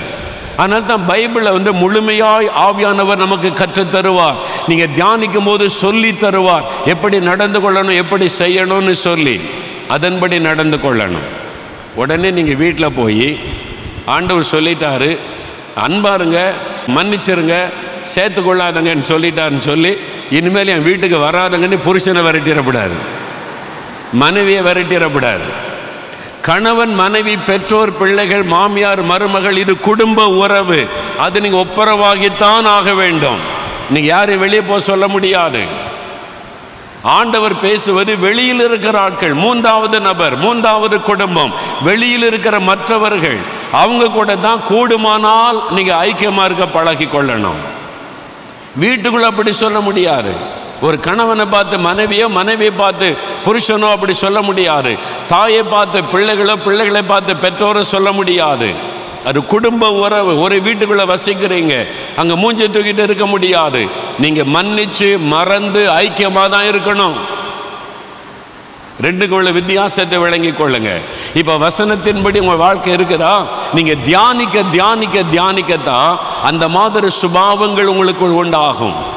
அதனால் தான் வசனத்தை தியானிக்கும்படி ஆண்டவர் எழுதி வைத்திருக்கிறார் கத்தருடைய வேதத்தில் பிரியமாயிருந்து அதை தியானிக்கிற மனுஷன் பாக்கியவான் அவன் செய்வதெல்லாம் வாய்க்கும் அப்போ இனிமேல் காலையில் அதிகாலை அஞ்சு மணிக்கு எழும்பி என்ன பண்ண போறீங்க வசனத்தை தியானிக்கணும் ஆமேன்னு சொல்லுங்க அல்லையா ஆண்டவர் என்ன பேசுகிறாரோ எழுதி வைங்க இன்றைக்கு ஆண்டவர் இந்த வசனத்தை கொண்டு இன்ன ஒருவர் எழுதுங்க உங்களுடைய லைஃப்பில் நிறைய சேஞ்சஸை பார்ப்பீங்க நான் கலர் பென்சிலில் கோடு போடுவேன் என்னுடைய பைபிளில் ஒரே வசனத்தில் நாலு கலரில் கோடு போட வைப்பேன் ஒவ்வொரு வார்த்தைக்கும் ஒவ்வொரு அர்த்தம் ஆண்டவர் பேசுவார் இந்த வார்த்தைக்கு என்ன அர்த்தம் இந்த வேர்டு ஒவ்வொரு வார்த்தைக்கும் அர்த்தத்தை ஆண்டவர் சொல்லி தருவார் நான் ஒவ்வொரு கலரில் அதை பண்ணி வச்சுருப்பேன் அதை வாசிக்கும் போது எனக்கு தெரியும் மறுபடியும் வாசிக்கும் போது கத்தர் என்ன பேசுகிறார் என்று வசனத்தை தியானிக்கணும் நீங்கள் வசனத்தை தியானிச்சு தியானிச்சு தியானிச்சு வசனத்துக்கு ஒப்பு கொடுத்து ஜெபிக்க ஜெபிக்க உங்களுடைய லைஃபே மாறிவிடும் அப்போ ஆண்டவர் நீங்கள் செய்வதையெல்லாம் வாய்க்க பண்ணுவார் அப்போ அப்போஸ்தலர் பதினேழாம் அதிகாரம் பதினோராம் வசனம் வாசித்தீங்கன்னா பெரோயா பட்டணத்தார் பெரோயா பட்டணத்தார் தேவனுடைய வசனத்தை குறித்து எப்படி இருந்தாங்களோ அந்த வசன வாசி கேட்போம் இந்த ரெண்டே வசன வாசத்தை முடிச்சிடலாம் அந்த பட்டணத்தார் மனோ வாஞ்சையாய் வசனத்தை ஏற்றுக்கொண்டு நல்லா கவனிங்க பிறவியா பட்டணத்தார் மனோ வாஞ்சையாய் வசனத்தை ஏற்றுக்கொண்டு கத்தருடைய வசனத்தை ஏற்றுக்கொண்டார்கள் இயேசுவை ஏற்றுக்கொண்டால் மாத்திரம் போதாது வசனத்தை நாம் ஏற்றுக்கொள்ள வேண்டும் வசனத்துக்கு முதலிடம் கொடுக்க வேண்டும் வசனத்தை ஏற்றுக்கொண்டு காரியங்கள் இப்படி இருக்கிறதா என்று தினந்தோறும் வேத வாக்கியங்களை ஆராய்ந்து பார்த்ததினால் தினந்தோறும் வேத வாக்கியங்களை ஆராய்ந்து பார்த்தார்கள் இந்த வசனத்தில் என்ன இருக்கிறது வசனத்தில் இப்படி சொல்லி இருக்கிறா கத்தர் இப்படி சொல்லி வைத்திருக்கிறாரா என்று தினந்தோறும் வேத வசனத்தை ஆராய்ந்து பார்த்ததினால் தெசலோனிக்கேயில் உள்ளவர்களை பார்க்கிலும் தெசலோனிக்க பட்டணத்தில் இருக்கிற விசுவாசிகளை காட்டிலும் இவர்கள் நற்குணசாலிகளாயிருந்தார்கள் அலையிலுயா நற்குணசாலிகள் ஏன் நிறைய விசுவாசிகளுக்குள்ள நற்குணம் இல்லை ஜெபிக்கிறோம் அந்நிய பாஷை பேசுகிறோம் எல்லாம் செய்கிறோம் நல்ல புத்தி இல்லை நல்ல குணம் இல்லை நல்ல சுபாவம் இல்லை அந்நிய பாஷை இருக்கிறது இந்த ஜபம் இருக்கிறது எல்லாருக்கிற ஊழியம் இருக்கிறது நல்ல சுபாவம் இல்லை ஏன் இல்லை வசனத்தை தியானிக்கவில்லை இந்த பெரையா பட்டணத்தார் வசனத்தை தியானித்து காரியம் இப்படி இருக்கிறதா இந்த தினந்தோறும் ஆராய்ந்து பார்த்ததினாலே தெசலனிக்க பட்டணத்தில் இந்த விசுவாசிகளை விட இவர்கள் நற்குணசாலிகளாயிருந்தார்கள் வசனம்தான் உங்களை நற்குணசாலிகளாய் மாற்றும் நல்ல குணமுள்ளவர்களாய் மாற்றும் வசனத்துக்கு முன்னால இருதயத்தை திறக்கணும் இருதயத்தை ஆராய்ந்து பார்க்கணும் இந்த வசனத்தில் சொல்லப்பட்டபடி என் வாழ்க்கை இருக்குதான்னு ஆராய்ந்து பார்க்கணும் நான் நினைக்கிறதுல எனக்கு சரியாக தான் தெரியும் ஆனால் வசனத்துக்கு முன்னால் போனால் தான் நான் குறைவுள்ளவன் என்று எனக்கு தெரியும் வசனத்துக்கு முன்னால் உங்களை வைத்து பார்க்கணும் அதனால் இந்த வசனத்தை தியானிக்க தியானிக்க உங்களுடைய குணங்கள் மாறும் வசனம் உங்களை பரிசுத்தப்படுத்தும் நற்குணசாலிகளாக மாறிடுவீங்க சாந்தமாக மாறிடுவீங்க அன்பாக மாறிடுவீங்க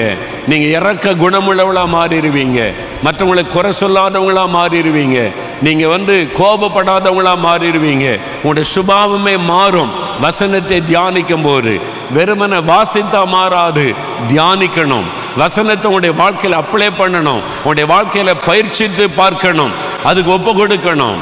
கடைசியாக ஒரு வசனம் வாசித்து முடிக்கலாம் வேத புஸ்தகத்தில் ஒன்று பேதரு ரெண்டாம் அதிகாரம் மூன்றாம் வசனம் நீங்கள் வளரும்படி புதிதாய் பிறந்த குழந்தைகளைப் போல திருவசனமாகிய களங்கமில்லாத ஞான பாலின் மேல் வாஞ்சையாயிருங்கள் நீங்கள் வளரும்படி கிறிஸ்துவுக்குள்ளே வளரும்படி ஆவிக்குறை வாழ்க்கையிலே வளரும்படி புதிதாய் பிறந்த குழந்தைகளைப் போல திருவசனமாகிய ஞான பாலின் மேல் வாஞ்சியாயிருங்கள் வசனத்துக்கு ஒரு அர்த்தம் சொல்லப்படுகிறது ஞானப்பால்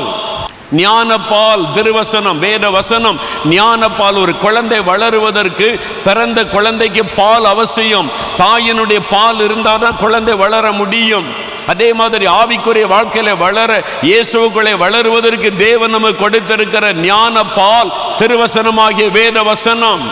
அது மேல எப்படி வாஞ்சியா இருக்கணுமா புதிதாய் பிறந்த குழந்தையை போல வாஞ்சியா இருக்கணுமா பத்து வயசு பிள்ளை எப்போ பால் குடிக்கும் ராத்திரியில் படுக்க போகும்போது ஒரு டம்ளர் பால் குடிப்பீங்க குடிக்கணும்னா கட்டாயப்படுத்தி அது குடிக்கும் பால் குடிக்கணும் சத்து அப்படின்னு சொல்லி அல்லது காலையில் ஒரு டம்ளர் ராத்திரியில் ஒரு டம்ளர் குடிப்பீங்க அவ்வளோதான் கை குழந்தை காலையில் கொஞ்சமும் ராத்திரி அப்படி தான் பால் குடிக்குமா ரெண்டு மணி நேரத்துக்கு ஒரு முறை சத்தம் போடும் அழ ஆரம்பிக்கும் என்னென்ன பசிக்குது எனக்கு பால் வேணும் பசிக்குது புதிதாக இப்போ இந்த குழந்தை காலையில் மட்டுமல்ல ராத்திரி மட்டுமல்ல அப்பப்போ அப்பப்போ அழும் பாலுக்காக அதே மாதிரி பேதர் சொல்லுகிறார் நீங்கள் புதிதாய் பிறந்த குழந்தைகளைப் போல திருவசனமாகிய ஞானப்பால் வேத வசனத்தின் மேலே வாஞ்சியாக இருக்கணுமா அடிக்கடி வாசி காலையில் வாசிட்டா போதும்னு இல்லை அடிக்கடி வாசிங்க அடிக்கடி வாசிங்க அடிக்கடி தியானிங்க ஒரு குழந்தை கை குழந்தை எப்படி பால் மேலே தாகமா இருக்குதோ அதே மாதிரி வசனத்தின் மேலே தாகமா இருங்க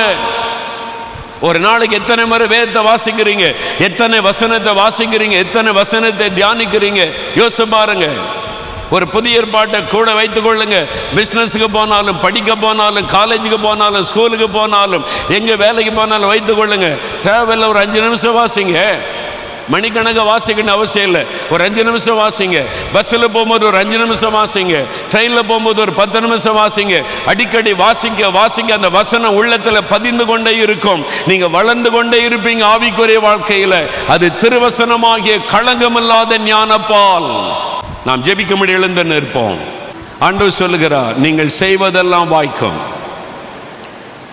தெளிவா பேசி இருக்கிறார் நீங்கள் செய்வது வாய்க்கும் இந்த வருகிற நாட்களில் தேவன் வாய்க்க பண்ண போகிறார் விசுவாசிக்கிறீங்களா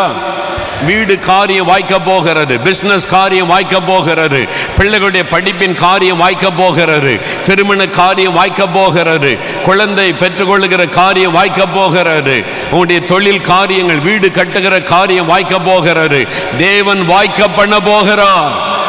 எத்தனை பேர் விசுவாசிக்கிறீங்க அல்லேலூயா அதற்கு ரெண்டு காரியத்தை ஆண்டவர் சொல்ல ஒன்று நீ விலகணும் துன்மார்க்கர் பாவிகள் பரியாசக்காரர் அவளை விட்டு நீ விலகணும் அவங்களோட ஐக்கியம் வைக்காத அவங்களோட நீ தோழமை வைக்காத அவங்கள்ட அன்பு காட்டு அவங்கள நேசி அவங்களுக்காக ஜபம் பண்ணு அவங்களுக்கு இயேசுவை பற்றி சொல் ஆனால் அவங்களோட தோழமையாக இருக்க முடியாது அவங்களோட தப்பான வழிக்கு போகாத அவங்களோட தப்பான காரியத்தை பேசாத அவங்களோட தவறான காரியத்தில் ஈடுபடாத அவங்களோட பார்ட்னர்ஷிப் வைக்காத ஆண்டவர் சொல்கிறார் விலகு உங்கள் வீட்டில் இருக்கலாம் பிஸ்னஸில் இருக்கலாம் படிக்கிற இடத்துல இருக்கலாம் அப்படியே கண்களை மூடுங்க கண்களை மூடுங்க ஆண்டவர் உங்களோட பேசி இருக்கிறார் ஆண்டவர் இன்றைக்கு என்னோட பேசினார் நான் சில ஆட்களை விட்டு விலகணும் சில ஆட்களை விட்டு நான் பிரியணும் சில ஆட்களோடு நான் தொடர்பு வச்சுக்கொள்ளக்கூடாது இந்த தவறான ஆட்கள்னால தான் என் வாழ்க்கை பாதிக்கப்படுது ஆசிர்வாதம் பாதிக்கப்படுது இந்த தவறான ஆட்களை விட்டு நான் விலகணும்னு ஆவியானவர் என்னோட தெளிவாக பேசி இருக்கிறார் அப்படி சொல்கிறவங்க மட்டும் வலதுகிற முயற்சங்க சொல்கிறவங்க மட்டும் வல்லதுகிற முயத்துங்க கண்களை மூடுங்க அடுத்தவங்களை பார்க்காதங்க நீங்கள் ஜோம் பண்ணுங்க ஆண்டவர் இந்த நபரை விட்டு நான் விலகணும் அந்த நபரை என் வாழ்க்கையை விட்டு அப்புறப்படுத்தும் நான் அவங்களை நேசிக்கிறேன் அவங்களுக்காக ஜெபிக்கிறேன் ஆனால் அவங்களோட நான் தோழமையாக இருக்கக்கூடாது அவங்களுடைய பிடியில் நான் இருக்கக்கூடாது அவங்களுடைய கண்ணிக்குள்ளே நான் இருக்கக்கூடாது அவங்கள விட்டு நான் விலகணும் என்னை விட்டு அவங்கள விலக்கி போடுங்க ஜோமண்ணுங்க ஜோமனுங்க ஜோமனுங்க ஆண்டவரே அந்த சகோதரன் அந்த சகோதரி அவங்களை விட்டு நான் விலகணும் ஆண்டு வரேன் அவங்களை விலக்கி போடுங்க ஆண்டு வரேன் அவங்களுடைய தொடர்பை துண்டித்து போடுங்க ஆண்டு வரேன் என் வாழ்க்கையில் அவங்க குறுக்கிடக்கூடாது என் வாழ்க்கைகள் அவங்க வரக்கூடாது சொல்லுங்க சொல்லுங்க என் குடும்பத்துக்குள்ள அவங்க வரக்கூடாது ஆண்டு வரேன் அவங்களை அப்புறப்படுத்துங்க என் வியாபாரத்தில் அவங்க வரக்கூடாது என் ஊழியத்துக்குள்ள அவங்க வரக்கூடாது என் வாழ்க்கைக்குள்ள அவங்க வரக்கூடாது தகப்பனே உம்முடைய பிள்ளைகள் ஜெபிக்கிறதை கேட்டுக்கொண்டிருக்கிறேன் இவர்களுடைய வாழ்க்கையிலே காணப்படுகிற அந்த தவறான தோழமைகள் எல்லாம் விலகுவதாக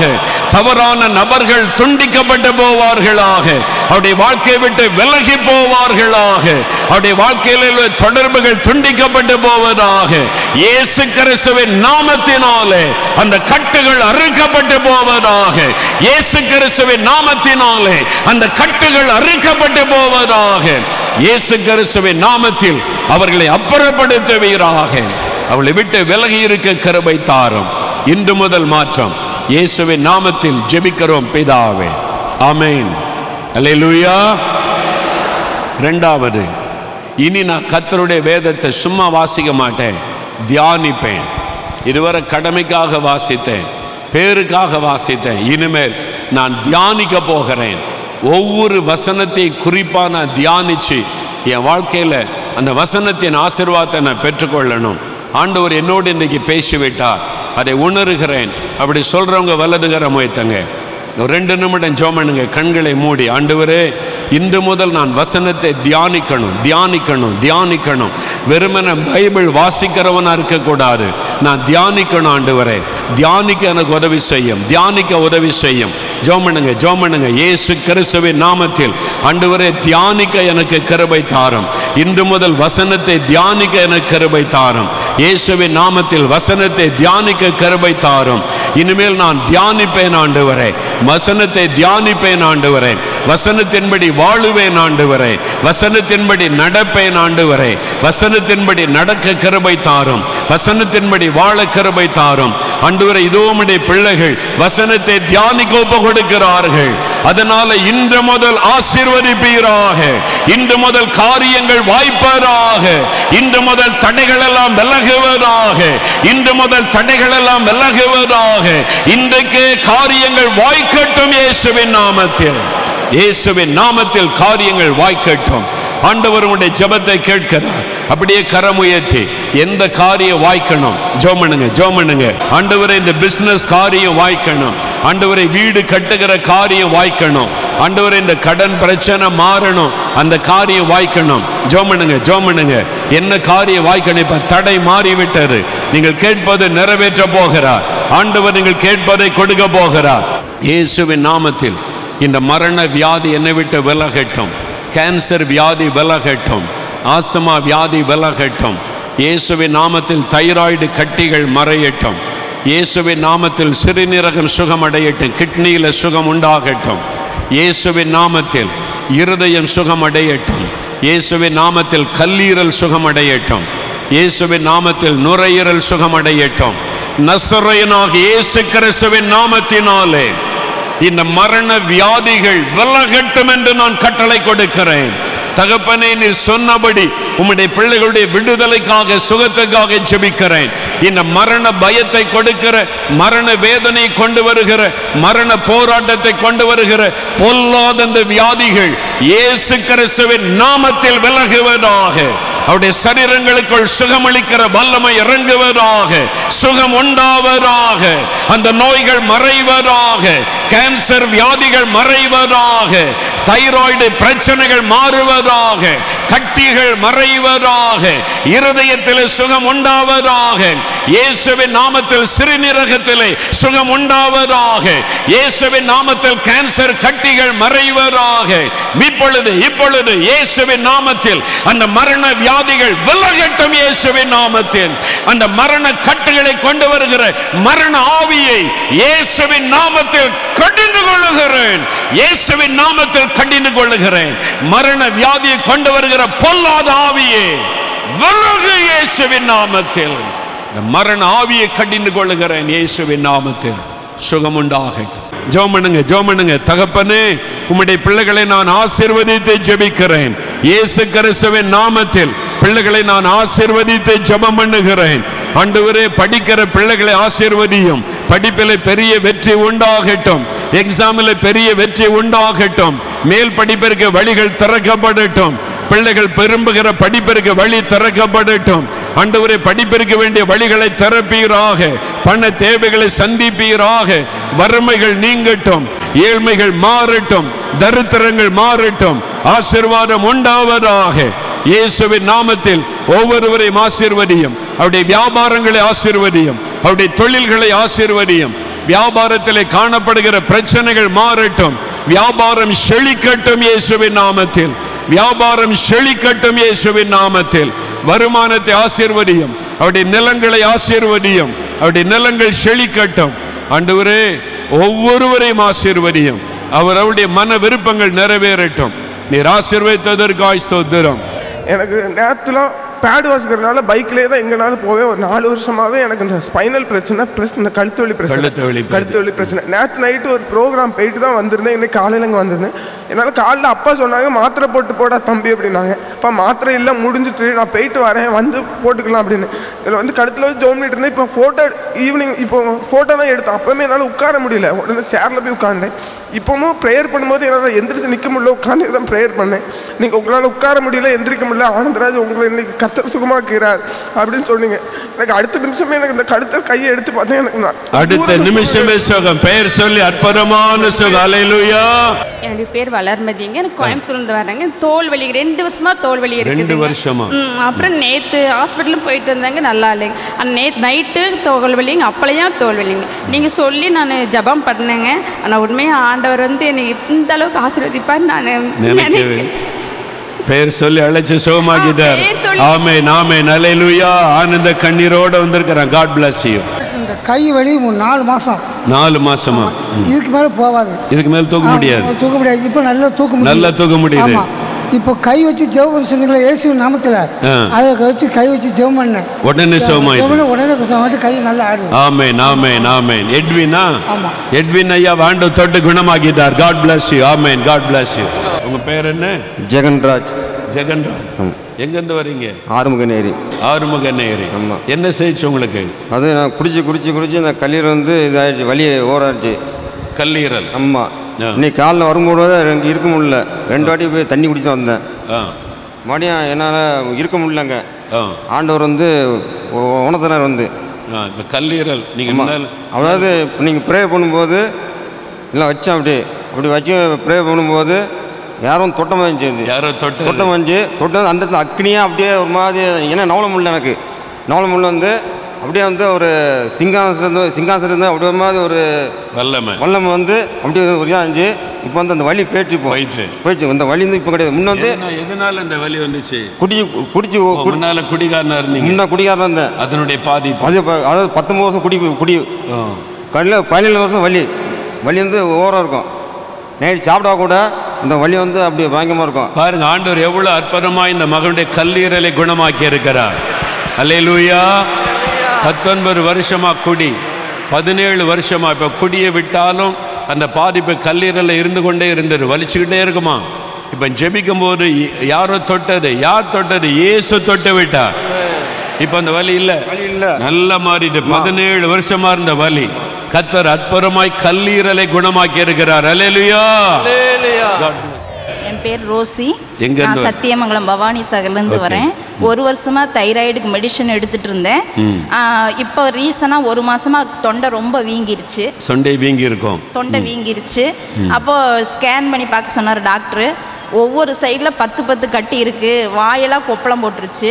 ஆமாம் டெய்ஸி கோவை டெய்ஸி ஹாஸ்பிட்டலில் இப்போ ட்ரீட்மெண்ட் எடுத்துகிட்டு இருந்தேன் அவங்க மூணு மாதம் நீங்கள் மெடிசன் எடுங்க அதுக்கப்புறம் பார்த்துக்கலாம் என்ன நடந்துச்சு இப்போ இப்போ வந்து ரொம்ப எனக்கு தொண்டை பெயினாக இருந்தது எச்சையே முழுங்க முடியாது அந்த அளவுக்கு ரொம்ப பெயினாக இருந்தது ஆனால் நீங்கள் நான் சொல்லிகிட்டே இருந்தேன் தைராய்டுக்காக இவர் கூப்பிட மாட்டேங்கிறாரே அப்படின்னு சொல்லிட்டு நான் ஜவு பண்ணிட்டு இருந்தேன் அப்போ கரெக்டாக நீங்கள் கூப்பிட்டீங்க வாயெல்லாம் கொப்பளம் போட்டிருக்கு ஒரு சகோதரிக்கு க தொண்டையில் கட்டி இருக்குது அவங்க எச்சி கூட முழுங்கிறதுக்கு ரொம்ப கஷ்டப்படுறாங்க அப்படின்னு சொல்லி நீங்கள் சொன்னீங்க அதே மாதிரி நானும் நீங்கள் ஜெபிக்க மரண பயத்தில் இருக்கிறாங்கன்னு நீங்கள் சொன்னீங்க கரெக்டாக நான் அப்படி தான் இருந்தேன் அதே மாதிரி சொன்ன மாதிரியே நீங்கள் ஜெபிக்கும் போது நானும் ஜெபித்தேன் கர்த்தர் எனக்கு பூரண விடுதலை கொடுத்து வழியே இல்லாமல் வழியே இல்லை அற்புதமான சுகம் தைராய்டு பிரச்சனை அன்பார்ந்த நேர்களே இந்நிகழ்ச்சியின் மூலம் நீங்கள் பெற்றுக்கொண்ட ஆசிர்வாதங்களை எங்களோடு பகிர்ந்து கொள்ளுங்கள் உங்களின் தெளிவான முகவரி தொலைபேசி எண்ணோடு சேர்த்து நீங்கள் எழுதி அனுப்ப வேண்டிய எங்கள் முகவரி இயேசு விடுவிக்கிறார் தொலைக்காட்சி பிரிவு நாலு மாவடி தூத்துக்குடி மாவட்டம் ஆறு இரண்டு எட்டு இரண்டு ஒன்று ஒன்று தொலைபேசி எண் பூஜ்ஜியம் நான்கு ஆறு மூன்று ஒன்பது இரண்டு இரண்டு பூஜ்ஜியம் பூஜ்ஜியம் இரண்டு இரண்டு இருபத்தி நான்கு மணி நேர ஜப உதவிக்கு பூஜ்ஜியம் நான்கு ஆறு மூன்று ஒன்பது இரண்டு இரண்டு பூஜ்ஜியம் பூஜ்ஜியம் பூஜ்ஜியம் பூஜ்ஜியம் தேவன் உங்களை ஆசிர்வதிப்பாராக